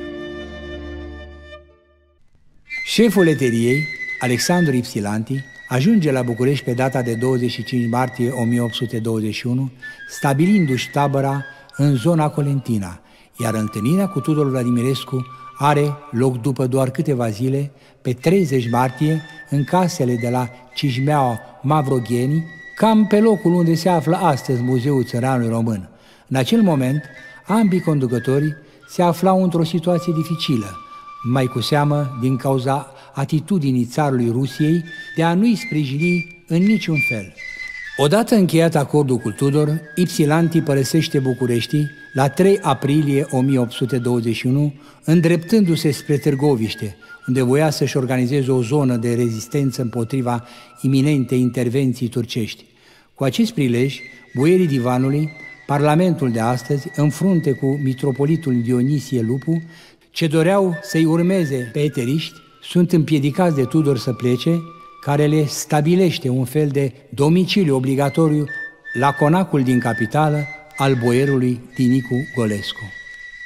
În cele două luni cât a domnit efectiv, neoficial la București, în perioada 16 martie-15 mai 1821, Tudor Vladimirescu, pe lângă disciplina extrem de severă instituită în rândul trupelor sale și a ordinii din viața de zi cu zi a locuitorilor, a căutat să facă ceva și pentru țărănimea căreia îi promisese slobozenie de substăpânirea domnilor și a boierilor, care, până la urmă, s-a redus la încetarea abuzurilor administrative și judecătorești. Tot în această perioadă, Vladimirescu a intrat în tratative oficiale cu turcii, de îndată ce s-a încredințat că mișcarea eteristă nu era susținută de Rusia. Negocierile cu turcii, prin mijlocirea boierilor ocârmuitori, pot fi considerate ca rupte la sfârșitul lunii aprilie prin refuzul autorităților otomane de a trata înainte ca rebelii să fi depus armele, iar boierii divanului să fie eliberați. Tudor nu numai că n-a depus armele, dar s-a întărit și mai mult la Cotroceni prin lucrări de fortificare și prin asigurarea de provizii suplimentare, cărora li s-a adăugat șapte tunuri și două mii de oameni strânși în mare grabă de capitanii săi. Cu toate astea, negocierile secrete cu turcii continuă. Ei, propunându-i la un moment dat că dacă cooperează pentru alungarea lui Ipsilanti din țară, sultanul îl va face chiar domn peste acest principat. O greșeală fatală ce avea să-l opună foștilor săi aliați, pe de o parte, iar pe de alta să-l aducă în conflict cu proprii capitani, în special pentru severitate, expunându-l fără nicio apărare răzbunării eteriste. Pe data de 1 mai 1821 se produce așteptata intervenție turcească, otomanii înaintând pe mai multe coloane în Oltenia, Muntenia și Moldova. Tudor, ezitant, a preferat o poziție de neutralitate în conflictul turco-eterist, declarându-le boierilor din vremelnica o cârmuire. Eu trec peste Olt cu toată adunarea norodului, ca să mă întăresc în mănăstirile ce le-am umplut cu provizii și panduri și nădăjduiesc, cu ajutorul lui Dumnezeu, să mă țin acolo multă vreme, ca în niște cetăți, până când voi sili pe turci să dea țării drepturile și privilegiile ce norodul le-a cerut prin mine la înalta poartă. Pentru a evita distrugerea capitalei, în urma unui conflict armat cu turcii, Tudor și oastea sa părăsesc Bucureștiul pe data de 15 mai 1821, îndreptându-se spre Oltenia, pe drumul Piteștilor.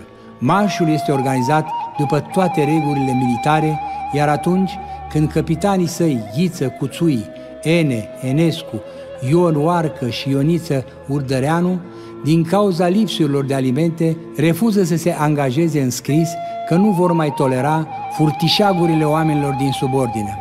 La Golești, lângă Pitești, Tudor decide să execute prin spânzurare pentru nesocotirea acestui ordin.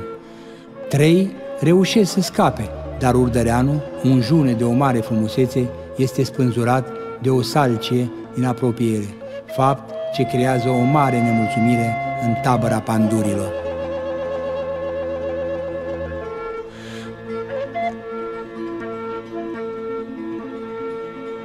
Conacul boierilor Golescu, aflat la 10 km de Pitești, este locul unde Tudor Vladimirescu și-a trăit ultimele zile de libertate, înainte de a fi prins și ucis de eteriști.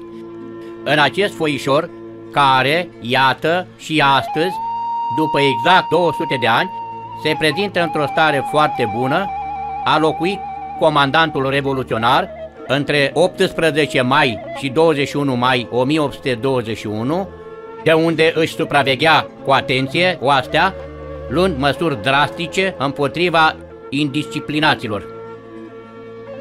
La 21 mai 1821, chiar pe acest loc de la Golești, Argeș, aflat în fața taberei de panduri, profitând și de starea de ostilitate, a capitanilor și a trupei față de Tudor, Iordache Olimpiotul, omul lui Ipsilanti și fostul său tovarăș pe drumul din Oltenia spre București, reușește să-l aresteze, punându-i în față acuzațiile de înțelegere cu turcii și de executare fără motiv a capitanului Urdăreanu. Conștient că are zilele numărate, Tudor Vladimirescu li se adresează cu mândrie neîmpăcaților săi dușmani. Vreți să mă omorâți? Eu nu mă tem de moarte. Eu am înfruntat moartea în mai multe rânduri. Mai înainte de a ridica steagul spre a cere drepturile patriei mele, m-am îmbrăcat în cămașa morții. Turcii sunt în țară, dar nu sunteți în stare și nu veți fi niciodată a vă bate cu dâns și cu ispravă.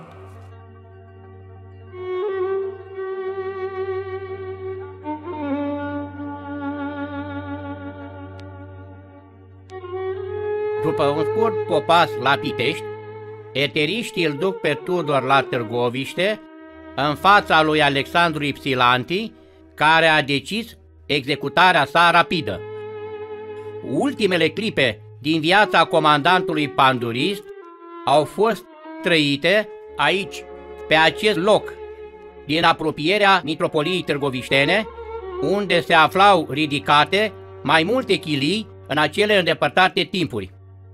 Din câte se știe, într-una din ele, în noaptea de 27 spre 28 mai 1821, călăii săi, Vasile Caravia, Poreclit și monstru din Galați, Gerasim Orfanos și Constantin Cavaleropoulos l-au supus unei execuții groaznice timp de două ore prin eviscerare.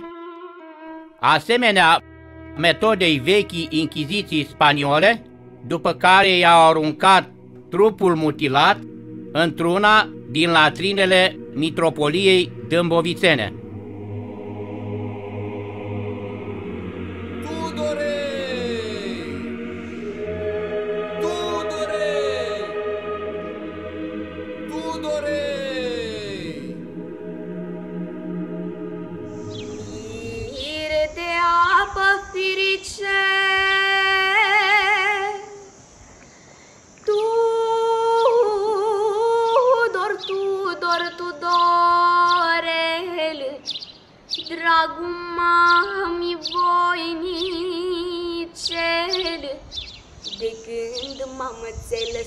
Și panduri ți-ai adunat Pe ciocoi să-i prinzi în gheară Că ne asupriră iarăși fac țara de o cară Și fac țara de o cară.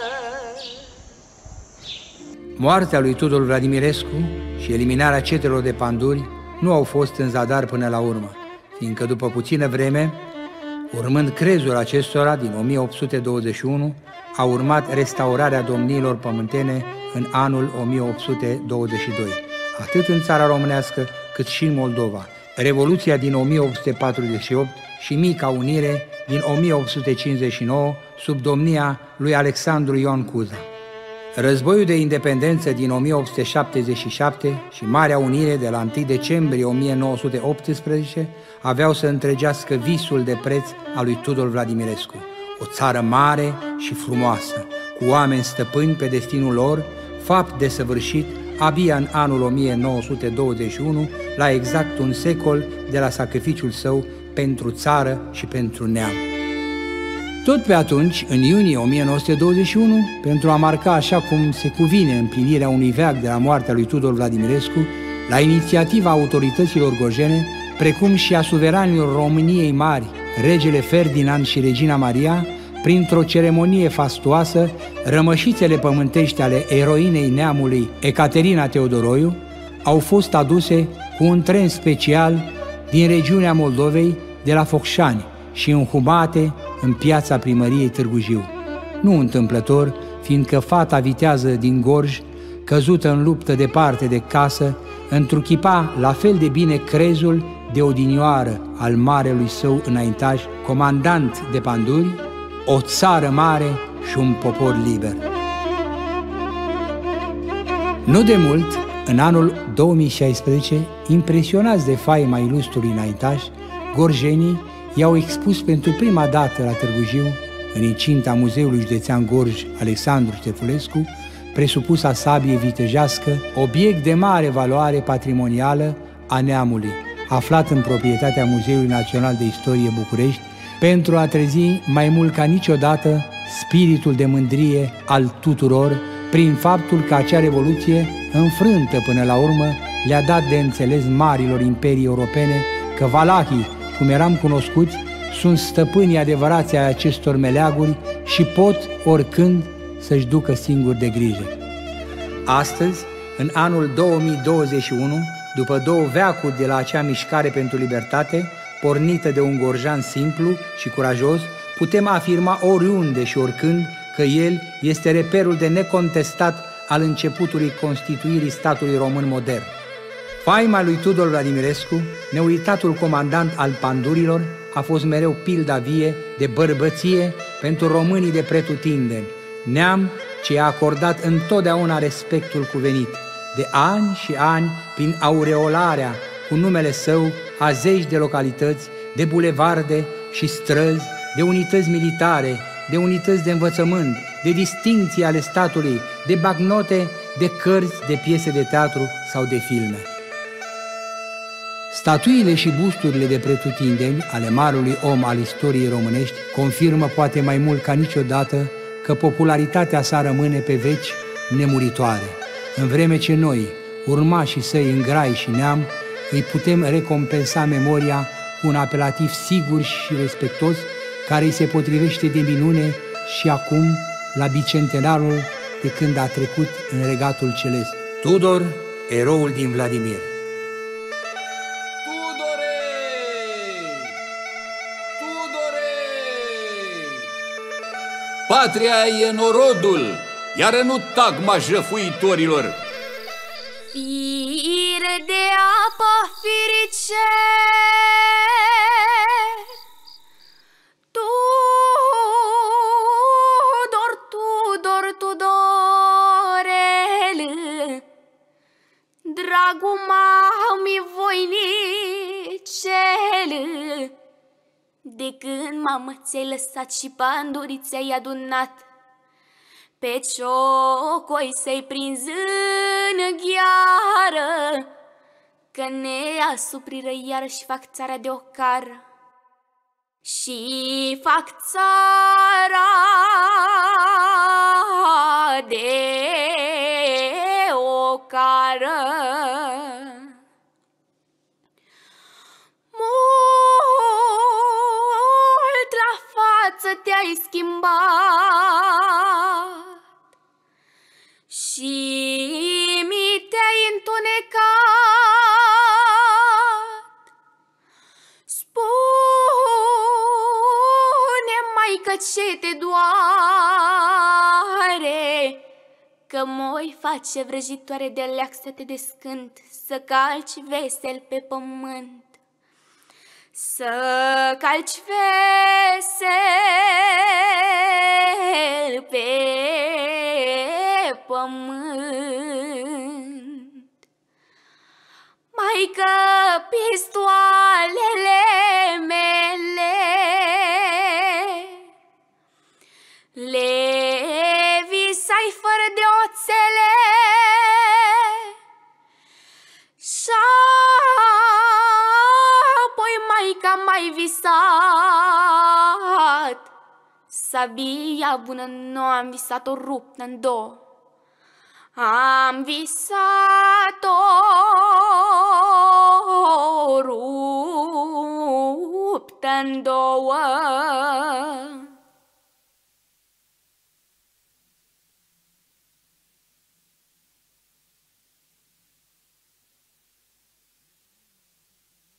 Cu prezența dumneavoastră, fetele mele, una stă și pe aici.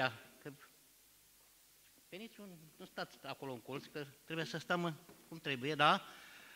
Uh, acum o știți și pe domnișoara noastră, Ioana Elena Stana, în vârstă de 13 ani. Ați văzut evoluția ei frumoasă, este un copil încă. Speranța mea că peste 50 de ani, când vor fi 250 de ani de la Revoluția lui Tudor Vladimirescu, și noi vom fi undeva printre stele, ea va fi reprezentanta noastră care va duce mai departe spiritul revoluționar al lui Tudor Vladimirescu. Dragii mei, ca să nu mai lungim uh, prea mult uh, treaba, uh, aș vrea să vă mărturisesc uh, ceva personal pe care nu le-am spus-o gorjenilor mei. La un moment dat, uh, anul trecut, când eram tot în regim de pandemie și mai aveam de făcut niște filmări pe la Pitești, la Golești, uh, chiar uh, eram dispus să renunț la acest proiect, Tudor, erou din Vladimir, însă a apărut un om minunat de la Timișoara, domnul inginer Sandu Iscrulescu, repet, Gorjan, stabilit de foarte multă vreme din Timișoara, care ne-a sărit în ajutor, ne-a fost și șofer, ne-a fost și sprijin material, ne-a fost și bucătar, domnul director a fost de toate. Și aș vrea să îl invit și pe dânsul la microfon să spună câteva cuvinte, așa cum știe dânsul, despre Tudor din Vladimir și despre proiectul nostru care s-a întâmplat exact când trebuia, exact la bicentenarul Revoluției de renaștere națională. Bună ziua! Nu este bucurie mai mare ca să fiu alături de dumneavoastră în acest ceas aniversar de aniversare, de sărbătorire a celor 80, ani, 80 de ani de la uh, nașterea, înființarea Radio Iași, o acțiune de amploare. Dacă văd aici fețe minunate, sunt cu atât mai mult emoționat. Uh, până vă transmit salutările mele și recunoștința și aprecierile, uh, vă rog să primiți aceleași sentimente de iubire și de dragoste de la Consulul General de la Stuttgart, întrucât domnul Radu Florea uh, ne-a invitat personal, m-a sunat personal și m-a invitat să mergem și la dumnealui să consfințim acest eveniment privind bicentenarul Revoluției de Renaștere Națională. De asemenea, uh, dumnealui vă transmite sentimentele pe care nu pot să le uh, pronunț acum. În același mod se manifestă și uh, profesorul Iosif Herlo, președintele Asociației Românilor de la Heidelberg, acolo unde Alexandru Ioan Cuza și-a dat ultima suflare și a cărui statuie am dezvelit-o cu 10 ani în urmă, exact 10 ani și acum se celebrează acest deceniu de existența statuiei. De la prima dezvelire, de la dezvelirea acestei statui, am fost responsabil uh, în fiecare an cu evenimentele culturale, artistice de acolo. Eu, ca reprezentant a fiii Gorjului, în Banat, cu diaspora. Uh, Doina românească de la Mahain, de asemenea, vă salută și vă transmite toate cele bune.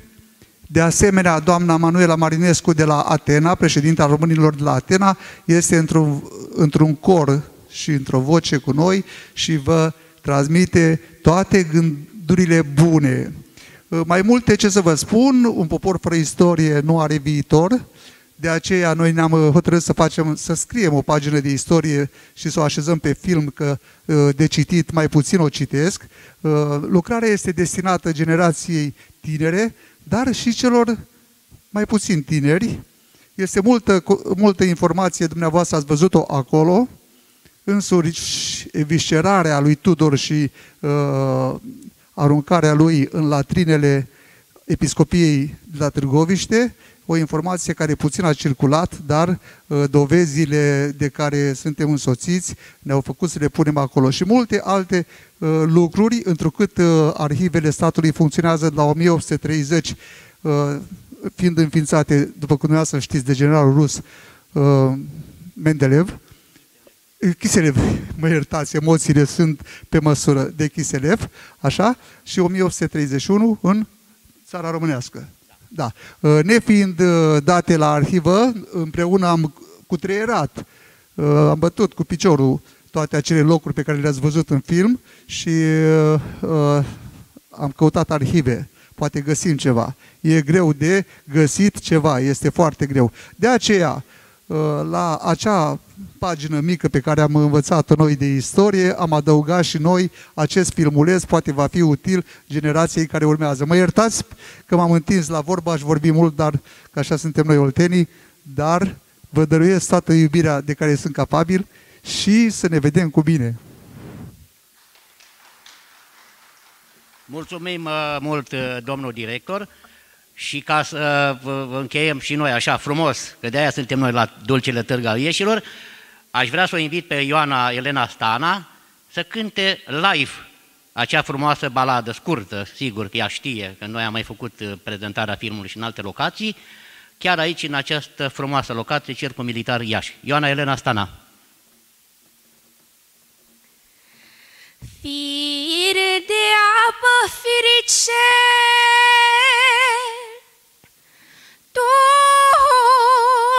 Tudor, Tudor, Tudorel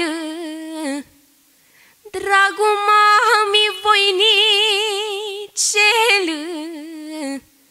De când mamă ți-ai lăsat și pandorii ți-ai adunat Pe ciocoi să-i prins în gheară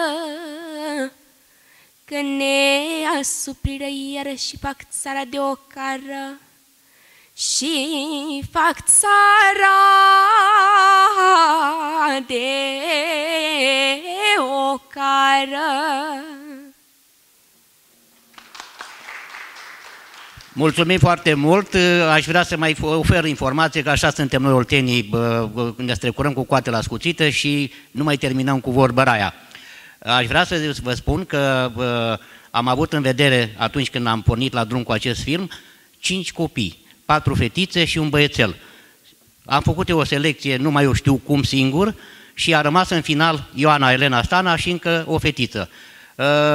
Norocul ei a fost că a fost mai micuță cu un anișor și am ales-o pe ea și iată că nu m-am înșelat. A fost o plăcere să lucrez cu această copilă. Uh, i-am dat textele pe care trebuia să le facem pe teren, să facem filmările și doar într-o săptămână, când eu mă chinuiam cu niște cartoane pe acolo să o ajut să vorbească pe teren, ea mi-a zis foarte clar și simplu că deja a învățat textele. Așa că probabil într-un viitor apropiat, de-abia este în clasa 7 va fi o viitoare studentă a Facultății de Istorie și să fie aici la Iași. Îi mulțumesc pe această cale. Uh, Uh, până nu urmează uh, finalul nostru cu un mic program realizat de aceste două tinere privighetori ale Gorjului și începem cu Antonia Stoian, laureata Festivalului Național de Folclor Maria Lătărețu, ediția 2018. Este un copil extraordinar de talentat. Dacă accesați internetul, o să o și găsiți acolo, când era un copil minune și o favorită a doamnei realizator Elize Stan la televiziunea română. Și iată că acum a venit împreună cu noi, în calitate de laureată a festivalului celebrei noastre artiste, să ne cânte și să ne încânte pe dumneavoastră cu două uh, melodii. Și sigur că uh, profităm și de uh, prezența Ioanei Elena Stana, o tânără, foarte tânără privighetoare în devenire, care sper că într-un viitor apropiat să devină, pe lângă calitatea, să-i spunem, de actriță, și o viitoare laureată a Festivalului Național Maria Lătărețu. Le invit să meargă acolo pe scenă, pentru că acolo vor evolua și până se pregătesc ele să ne încânte un pic, uh, suntem la o mare sărbătoare a Radio Iași, prietenii noștri, pentru că noi când am venit aici la Iași, nu am venit la niște instituții și noi am venit la niște prieteni, iar prietenul nostru vechi al gorjenilor este Radio Iași, reprezentat cu cinste aici, de această dată, de doamna Petronela Cotea Mihai. Drept dovadă, conducătorul nostru al județului Gorj, domnul președinte Cosmin Mihai Popescu, ne-a însărcinat în postura de soli ai culturii gorjene să acordăm o diplomă instituției Radio România Iași și semnează astăzi, exact 2 noiembrie 2021, exact când Radio Iași împlinește 80 de ani, o diplomă de excelență și vă mulțumim, doamna Petronela, și în numele conducătorilor noștri la Gorj, care apreciază ceea ce faceți dumneavoastră aici prin intermediul instituției prestigioase Radio România Iași.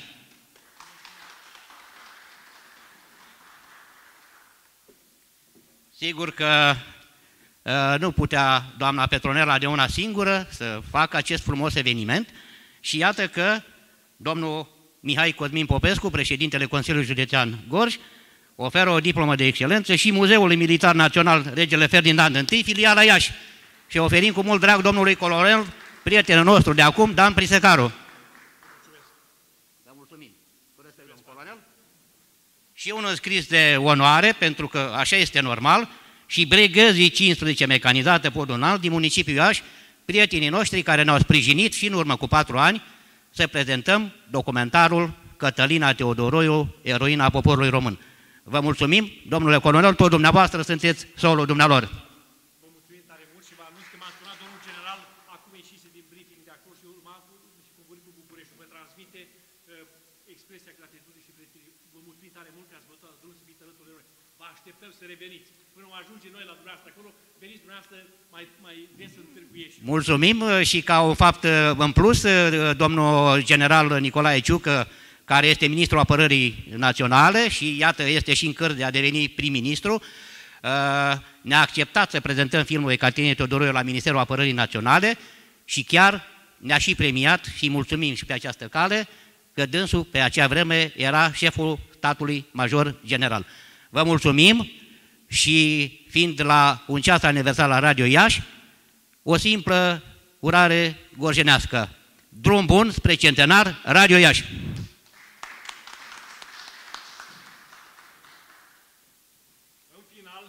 depășit oarecum, dar a fost, da, face câteva precizări înainte de a intra în scenă. După artiste, după cele două fete superbe, um, urmează încheierea, așa cum se cuvine pe rău, marșului Tudor, marșul militar, după care vă invităm la o degustare de un, un pare de șampane de hermeziu, o cafea și jos la expoziție. Vă mulțumim la toți, din toată inima, instituției dumneavoastră care reprezentați și vă așteptăm să reveniți uh, aici gratitudine și respect.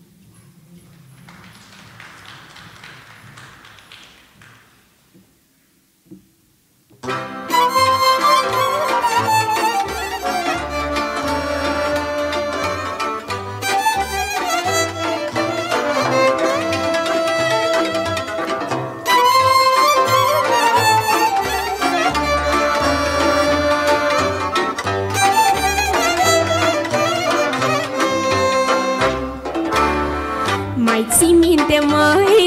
erau